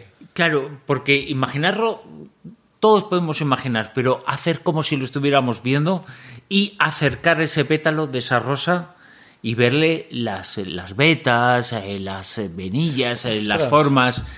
Y parece que no, pero ahí pasa un tiempo. Pasa un tiempo. Entonces, esa técnica es una de las técnicas que he utilizado. Otra de las técnicas que he utilizado, funcionado también de las secciones que tiene el programa, es visualizar una pantalla de cine grande, estar sentado y en la pantalla esa de cine no aparecen escenas, aparecen números. Y aparece el 100, luego el 99, luego el 98, así hasta el 0. Parece que no, aguantar de 100 a 0 lleva muchos minutos, mucho tiempo. Mucho tiempo y se, corta la imaginación, no pasa nada si se corta, pero ese tipo de visualizaciones van eh, muy bien. Eh, y tu mente se relaja un poco. No te va a curar, evidentemente no te va a curar, pero esos eh, momentos eh, van a ser buenos, ¿no? ¿Y que esto lo haces en la posición del loto o, yo, o tumbado? Yo tumbado. Recomiendan la posición de, de loto, de tal. Sí. Pero esa posición es que es muy incómoda. Por lo menos para mí. Pero y entonces esto es, te tumbas, pones y, y haces esto, porque yo tengo una amiga que lo hace también, y se pone el móvil y en el móvil le va diciendo, ahora Ah, imagínate claro. que no sé qué, con una musiquita de fondo. Yo, por ejemplo, muchas noches, eh, cuando me voy a dormir, me cojo el móvil y me busco una meditación guiada. Sí. que, que meditación guiada es, es eso, es una voz. Tienes que buscarte, porque hay muchas eh, meditaciones eh, guiadas, pero tienes que eh, examinarte a ti mismo. Primero, que la voz te sea agradable, la que aparece en la meditación, en, la, en lo que vas a escuchar, porque si es desagradable, pues una vez que te suena mal, pues es Ya, ya, voz- ya empiezas cuesta arriba. Claro. claro. Entonces, una voz que, que digamos que, que te ayude a relajarte. Yo, claro, he ido eh, a médicos, psicólogos eh, que han utilizado eso y te mandan las grabaciones, entonces las tienes en el móvil y eso ayuda. Luego vas buscando cosas, eh, eh, esta voz que de chica o de chico no no no tiene, pero eh, Que es ti esa, te esa voz es que te que te es que no, no hay una definición, ¿no? Que por lo que sea y que no te sea estridente. Sí. Eh, porque si lo vas a escuchar en la cama y entonces es en el móvil, y como es en el móvil, si te quedas dormido, pues te quedas dormido. Miel sobre hojuelas. Y si no te quedas dormido, que no te quedas nunca, te va a ayudar a descansar. Y esos 10, 15, 20 minutos que puedes hacer escuchando una voz, te, te ayuda. No te va a curar nada, nada, cura nada. Pero nada estorba, nada. Y si es cierto que, por ejemplo, la meditación, yo sabía cosas de, meditación, pero en la escuela de yoga donde yo voy, hacían también. eh, entonces pregunté y fui algún día y tal. No tengo tanto tiempo, pero me, me informaron, ¿no? De, de alguna cosa y fui a alguna, alguna clase y eso. Pero a veces se, se puede meditar tan fácil, meditar su propia palabra lo, lo dice. A veces se puede meditar con la eh, llama de una vela, pero concéntrate y mírala, no un minuto, no dos, no diez, no quince, no veinte, sino estate tres horas mirando la llama de una vela. Y eso ya es una forma de meditar. Claro, y luego medita. Por ti- mientras eh, ves las dos cosas, o sea, aparte del cerebro en dos, por un lado lo que tú ves y por otro lo que tú eh, estés eh, reflexionando. En este caso, reflexionar sobre ti mismo y sobre la enfermedad, ¿no? Evidentemente. Porque si meditaras sobre otra cosa, sí va a ocultar, porque es lo, más, es lo único importante en la, en la vida, ¿no? Eh, ¿Empezaste a meditar a raíz de la enfermedad? Eh, conocía antes algunas cosas, pero en serio a raíz de la enfermedad. O sea, mm, y no lo he hecho en serio nunca, ¿eh? Ojo, yo no me considero en, se- en serio nunca, pero me lo he tomado más en serio a raíz de la enfermedad. Porque sé que es bueno porque es como bajar eh, la enfermedad te, te hace tener un ritmo mental, ¿eh? Sí, no hablo, claro. no hablo físico, ¿eh? un ritmo mental muy angustioso siempre, muy acelerado siempre. Por eso la respiración es tan importante, porque normalmente las personas con esta enfermedad, como se junta la angustia, se junta a la incertidumbre, hay una respiración muy que no eres consciente de eso, pero no es buena para, para el cuerpo. Entonces la meditación, digamos que te sitúa en un plano mucho, mucho mejor, ¿no? Eh, y tu mente se, se relaja un poquito, un poquito. O sea, cuando dice, es que meditar no te solventa nada, no te cura nada, no sustituye a un fármaco, no. Eh, pero ese rato vas a estar mejor. Y sí es cierto que cuando juntas un mes de meditación, ¿no? Que he meditado casi todos los días, o he hecho relajaciones casi todos los días, ese mes siguiente es un pelín mejor. Un pelín, ¿eh? Un pelín. Ajá, Un pelín. No quiere decir que vayas a andar mejor. ya. O sea, pero vas a estar un pelín mejor. Y te vas a enfrentar un pelín mejor a las, a las cosas. Y ojo que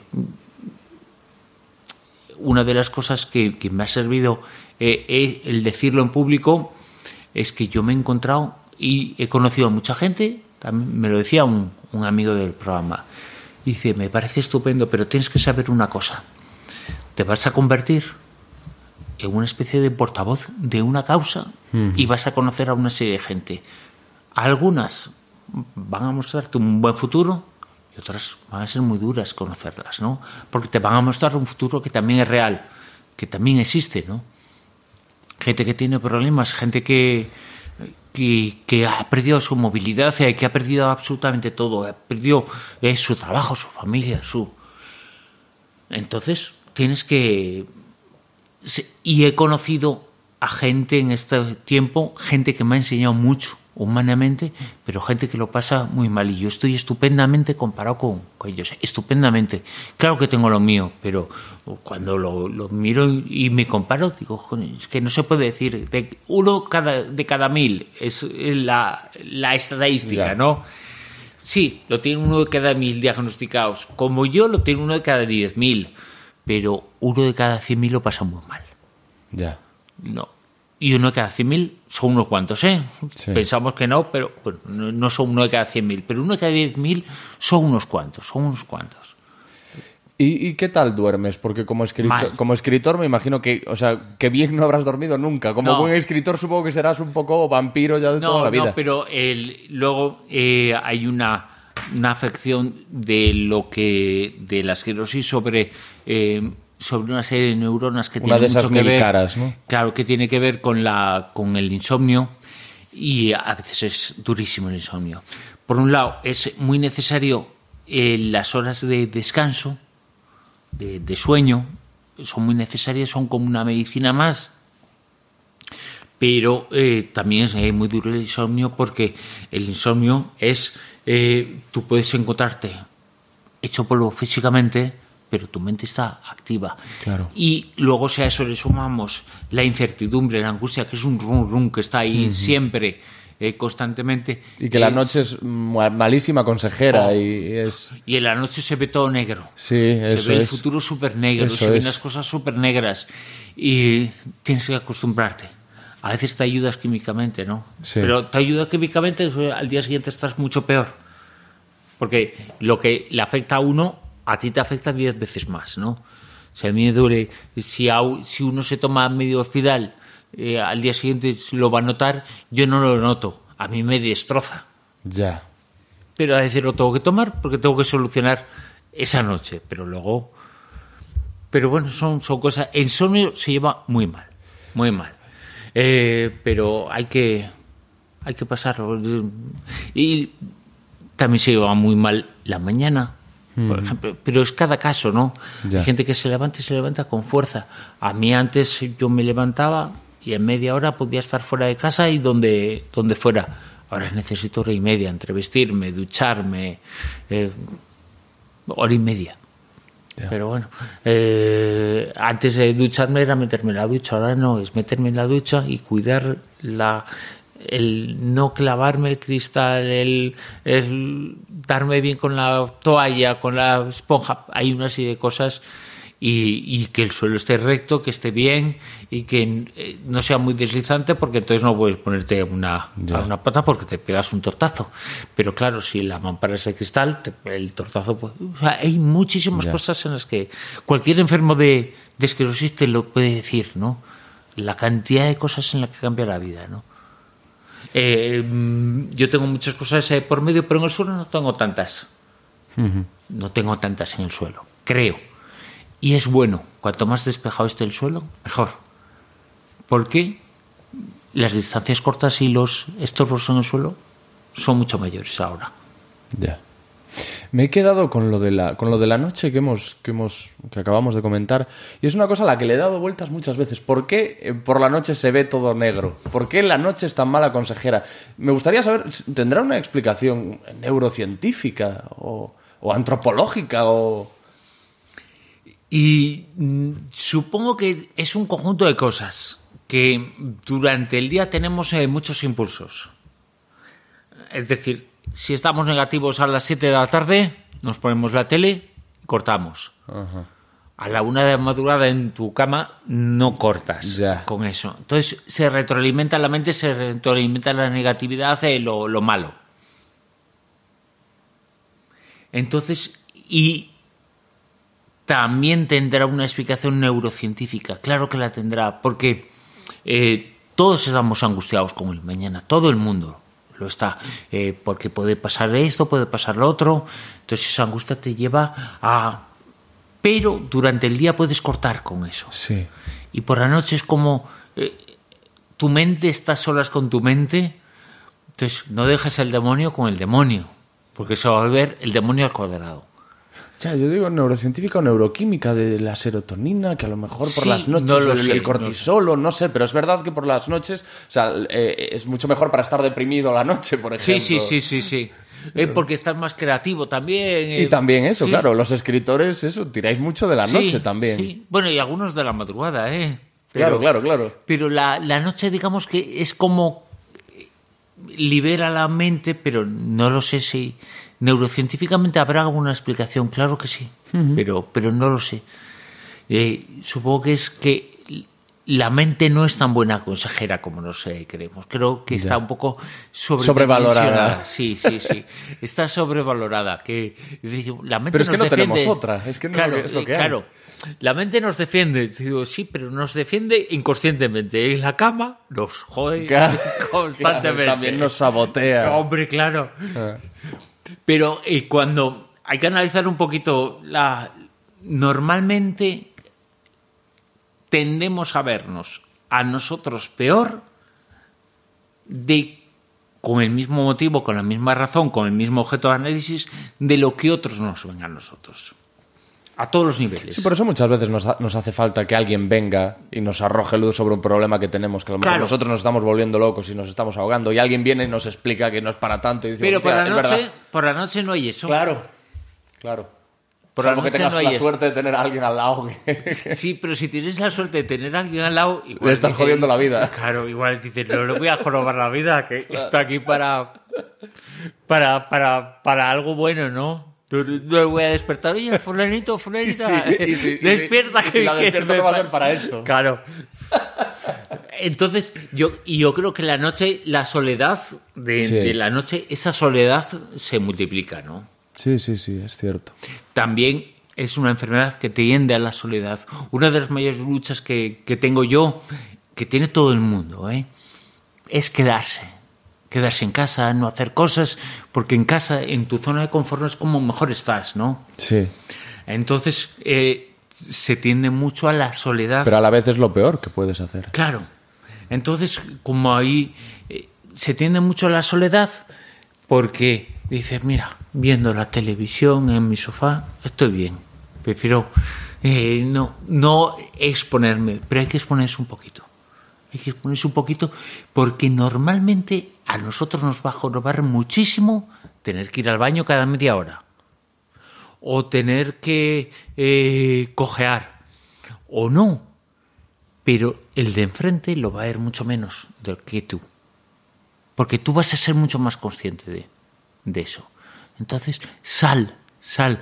Una de las cosas que, que digo en el libro mucho es sal, porque yo he visto el riesgo de no salir. Y sales, no tengas una vida, no, sales, vete a tomar un café, vete a tomar una Coca-Cola, queda con fulano, toma algo. Sin más, ¿no? En tu caso, además, hay otros condicionantes, ¿eh? evidentemente, pero yo suelo, suelo decir, por, por, por, mi, por mis propias vivencias, que la, la soledad es un poco como una droga, a veces, porque no, algunos, como es mi caso, tendemos a la soledad, pero yo sé que pocas cosas me hacen tanto mal como estar solo. Claro. no lo puedo evitar. Claro. O sea, si me dejo ir, voy a estar solo. Es que mm, la soledad es una buena compañera hasta que no la domin no te domina a ti. Claro. O sea, si tú dominas a la soledad, a mí me gusta la soledad deseada. Eso es. Eh, la soledad de que domino. Eh, Eso es. A mí me gusta estar solo, pero estar solo mientras mm, quiera estar solo. Cuando no quiera estar solo, estar solo es muy jodido. O sea, que, entonces la soledad deseada está bien. Y yo creo que a veces hay gente que está todo el rato buscando esos impulsos y de, piensa un poquito por ti mismo, ¿no? O sea, el- todo tiene su y digo sal en este caso por la soledad, porque tendemos a quedarnos eh, solos y es sí que esa es una soledad no deseada Ya. porque es una soledad primero eh, en donde encuentras la em, la reafirmación a lo una solución rápida a un problema hoy no puedo andar muy bien o, o mm, yo qué sé y soluciones ese problema. Pero estás eh, te- creándote otro, ¿no? Entonces, es un conjunto de, de las dos cosas, ¿no? Que me gusta y no me gusta, ¿no? Claro, pero yo te digo que a veces la soledad eh, elegida y deseada tampoco es buena. Es lo que, es lo que yo te digo. Yo hay ocasiones en las que tengo la oportunidad de estar acompañado y elijo soledad a pesar de que sé que eso me va, que, que no me hace nada. Claro. Por, por eso lo comparo con una droga, porque tú sabes Sí, que la sí, droga sí. no te está haciendo bien, te está matando, Pero y te, la, sigues estás tomando. metiendo. Sí, sí, sí, sí, sí. Claro. Claro, eh, tiene, tiene esa parte de... Porque la, la droga y la soledad da una satisfacción instantánea en el momento, pero en el momento, ese momento cuando se extiende un poquito en el tiempo y empiezas a ver, ostras, pues a todo el mundo le ha pasado. Hoy no me apetece moverme de casa esta noche. Me voy a poner la tele y me voy a hacer algo de comida y voy a- o voy a comprarme algo y me voy a tomar algo. Eso está muy bien, 10 minutos, 15 minutos, pero luego dices, ostras, son las 10 de la noche, ¿qué estoy haciendo yo? ¿No he quedado con nadie? Y, y toda la noche por delante, ¿no? Y es eso, ¿no? Que las, las drogas dan una satisfacción instantánea, Pero a pero la larga. a la larga Eres menos solitario ahora. Eh, yo creo que es- creo que soy igual. Sí. Creo, ¿eh? Creo. Eh, a vez- pero tengo que forzarme en ocasiones para, para moverme.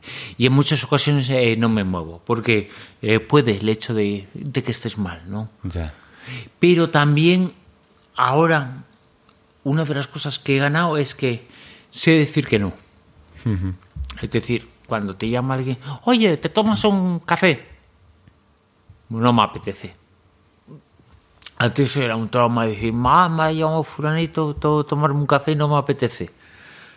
Y, y te lo tomabas por, eh, por que- quedar bien con él.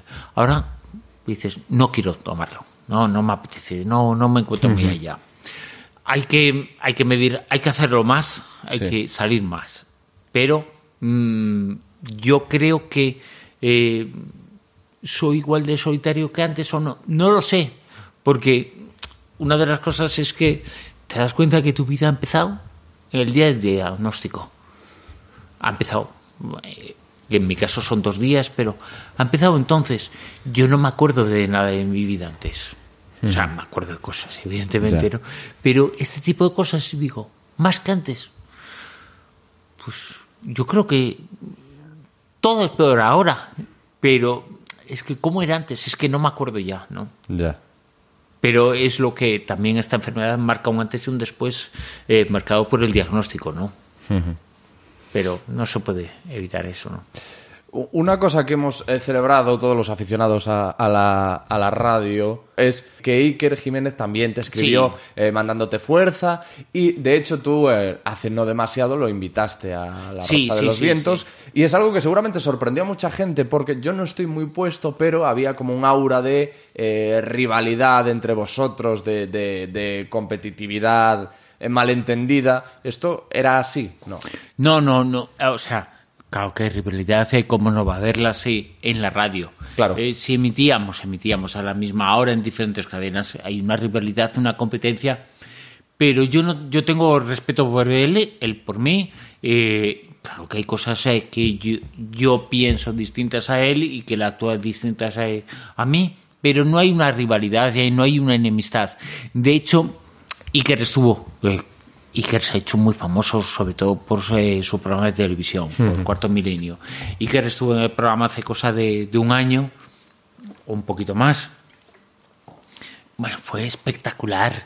eh, su llegada, hasta- desde los de seguridad hasta todo. Era una cosa, dices, ostras, este era amigo mío, ¿no? Es amigo mío, ¿no? Pero eh, Iker es de las personas que, aunque eh,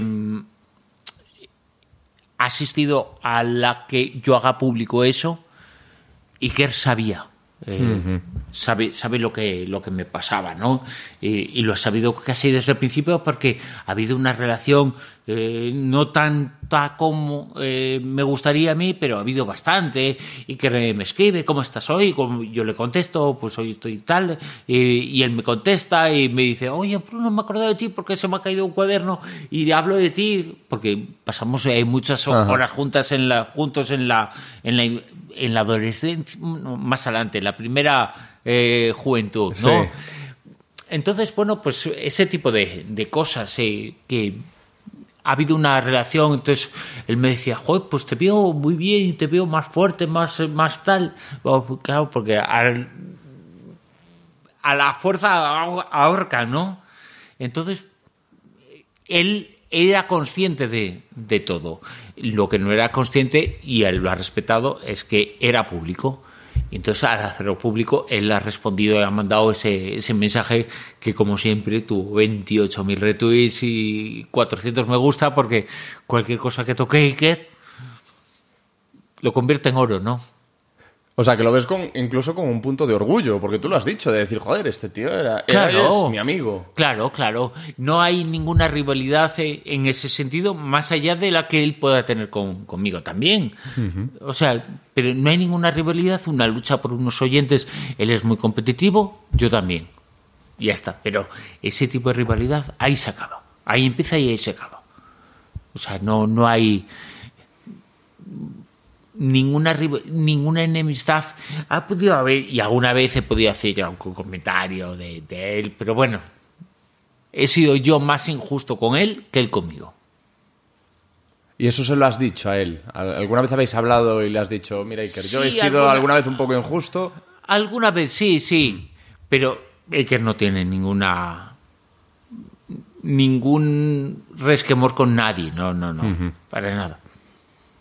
Es una persona que le ha ido bien laboralmente en su vida, pues como a todo el mundo le habrá ido, ¿no? Habrá tenido cosas buenas y cosas malas, ¿no? Habrá tenido luces y sombras, habrá tenido sufrimientos y, y virtudes, como todo el mundo, Como ¿no? todo el mundo. Habrá tenido lo mismo que todo el mundo, ¿no? Eh, el dinero no nos iguala, pero la vida sí nos iguala a todos. ¿no? Joder, Bruno, pues me ha encantado, ¿eh? A- Y hablar, a- hablar contigo. Y a mí también, joder, yo me acuerdo mucho de, de la época que estuviste en el programa. Que me lo pasaba como un enano. Jolines, y me lo pasaba eh, como un cabrón.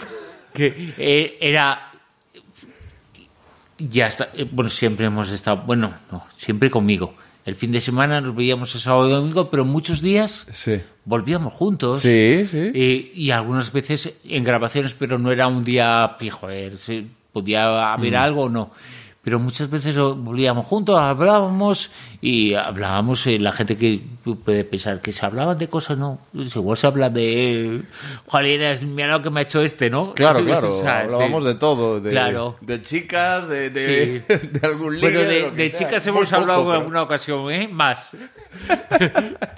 Pero Pero sí, yo me lo pasaba. Y apre- aprendí tanto, tío. En, en un año que estuve allí, aprendí un, un montón. Y, y te confieso una cosa. Y es que ahora escucho la Rosa de los Vientos, escucho la sintonía tal. Y tengo un.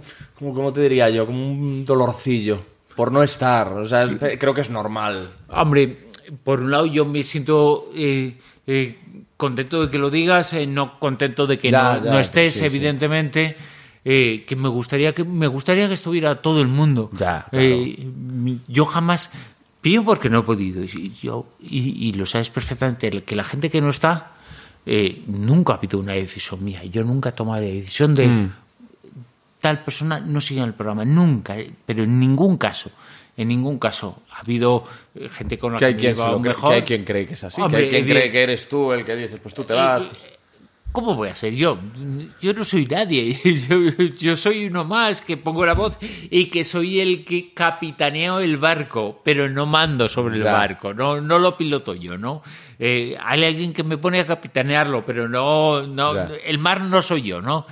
Y, y- pero y hay personas con las que te llevas peor y con las que te llevas mejor o peor, como todo el mundo. Soy, una persona como, pero contigo me llevaba muy bien. O sea, Sí, sí. Me, lo, me lo pasaba. Además muy- teníamos nuestras, pe- nuestras pequeñas Ah, tertu- bueno, claro. tertulias antes de... Sí, y, y luego del programa, pues eh, seguíamos, igual hablábamos menos del programa o más, porque bueno, cada día es eh, distinto lo que.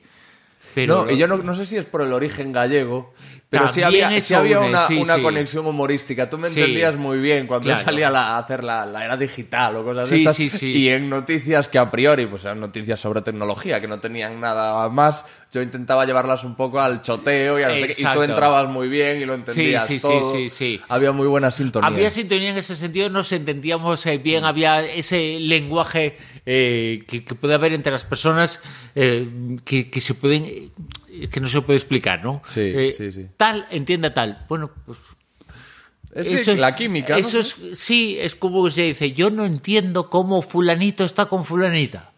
Ya. Y están estupendamente, Sí, pues sí. tienen química, tienen algo entre ellos, ¿no?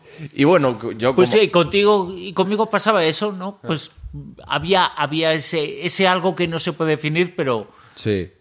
Y, y hay mucho de, de mi etapa en la Rosa de los Vientos en esto que estoy haciendo. O sea, yo lo noto muchísimo, mucho de lo que aprendí allí, eh, de ti, de los temas de los que pude aprender allí. Y fíjate, de hecho, el primer invitado de este podcast, que fue el, el bioquímico José Miguel Mulet, me conocía porque escucha la Rosa de los Vientos. ¿Ah, Entonces, sí? a lo mejor esa, primera entrevista me la concedió por Claro, eso. me- Hay mucho de la Rosa de los Vientos aquí.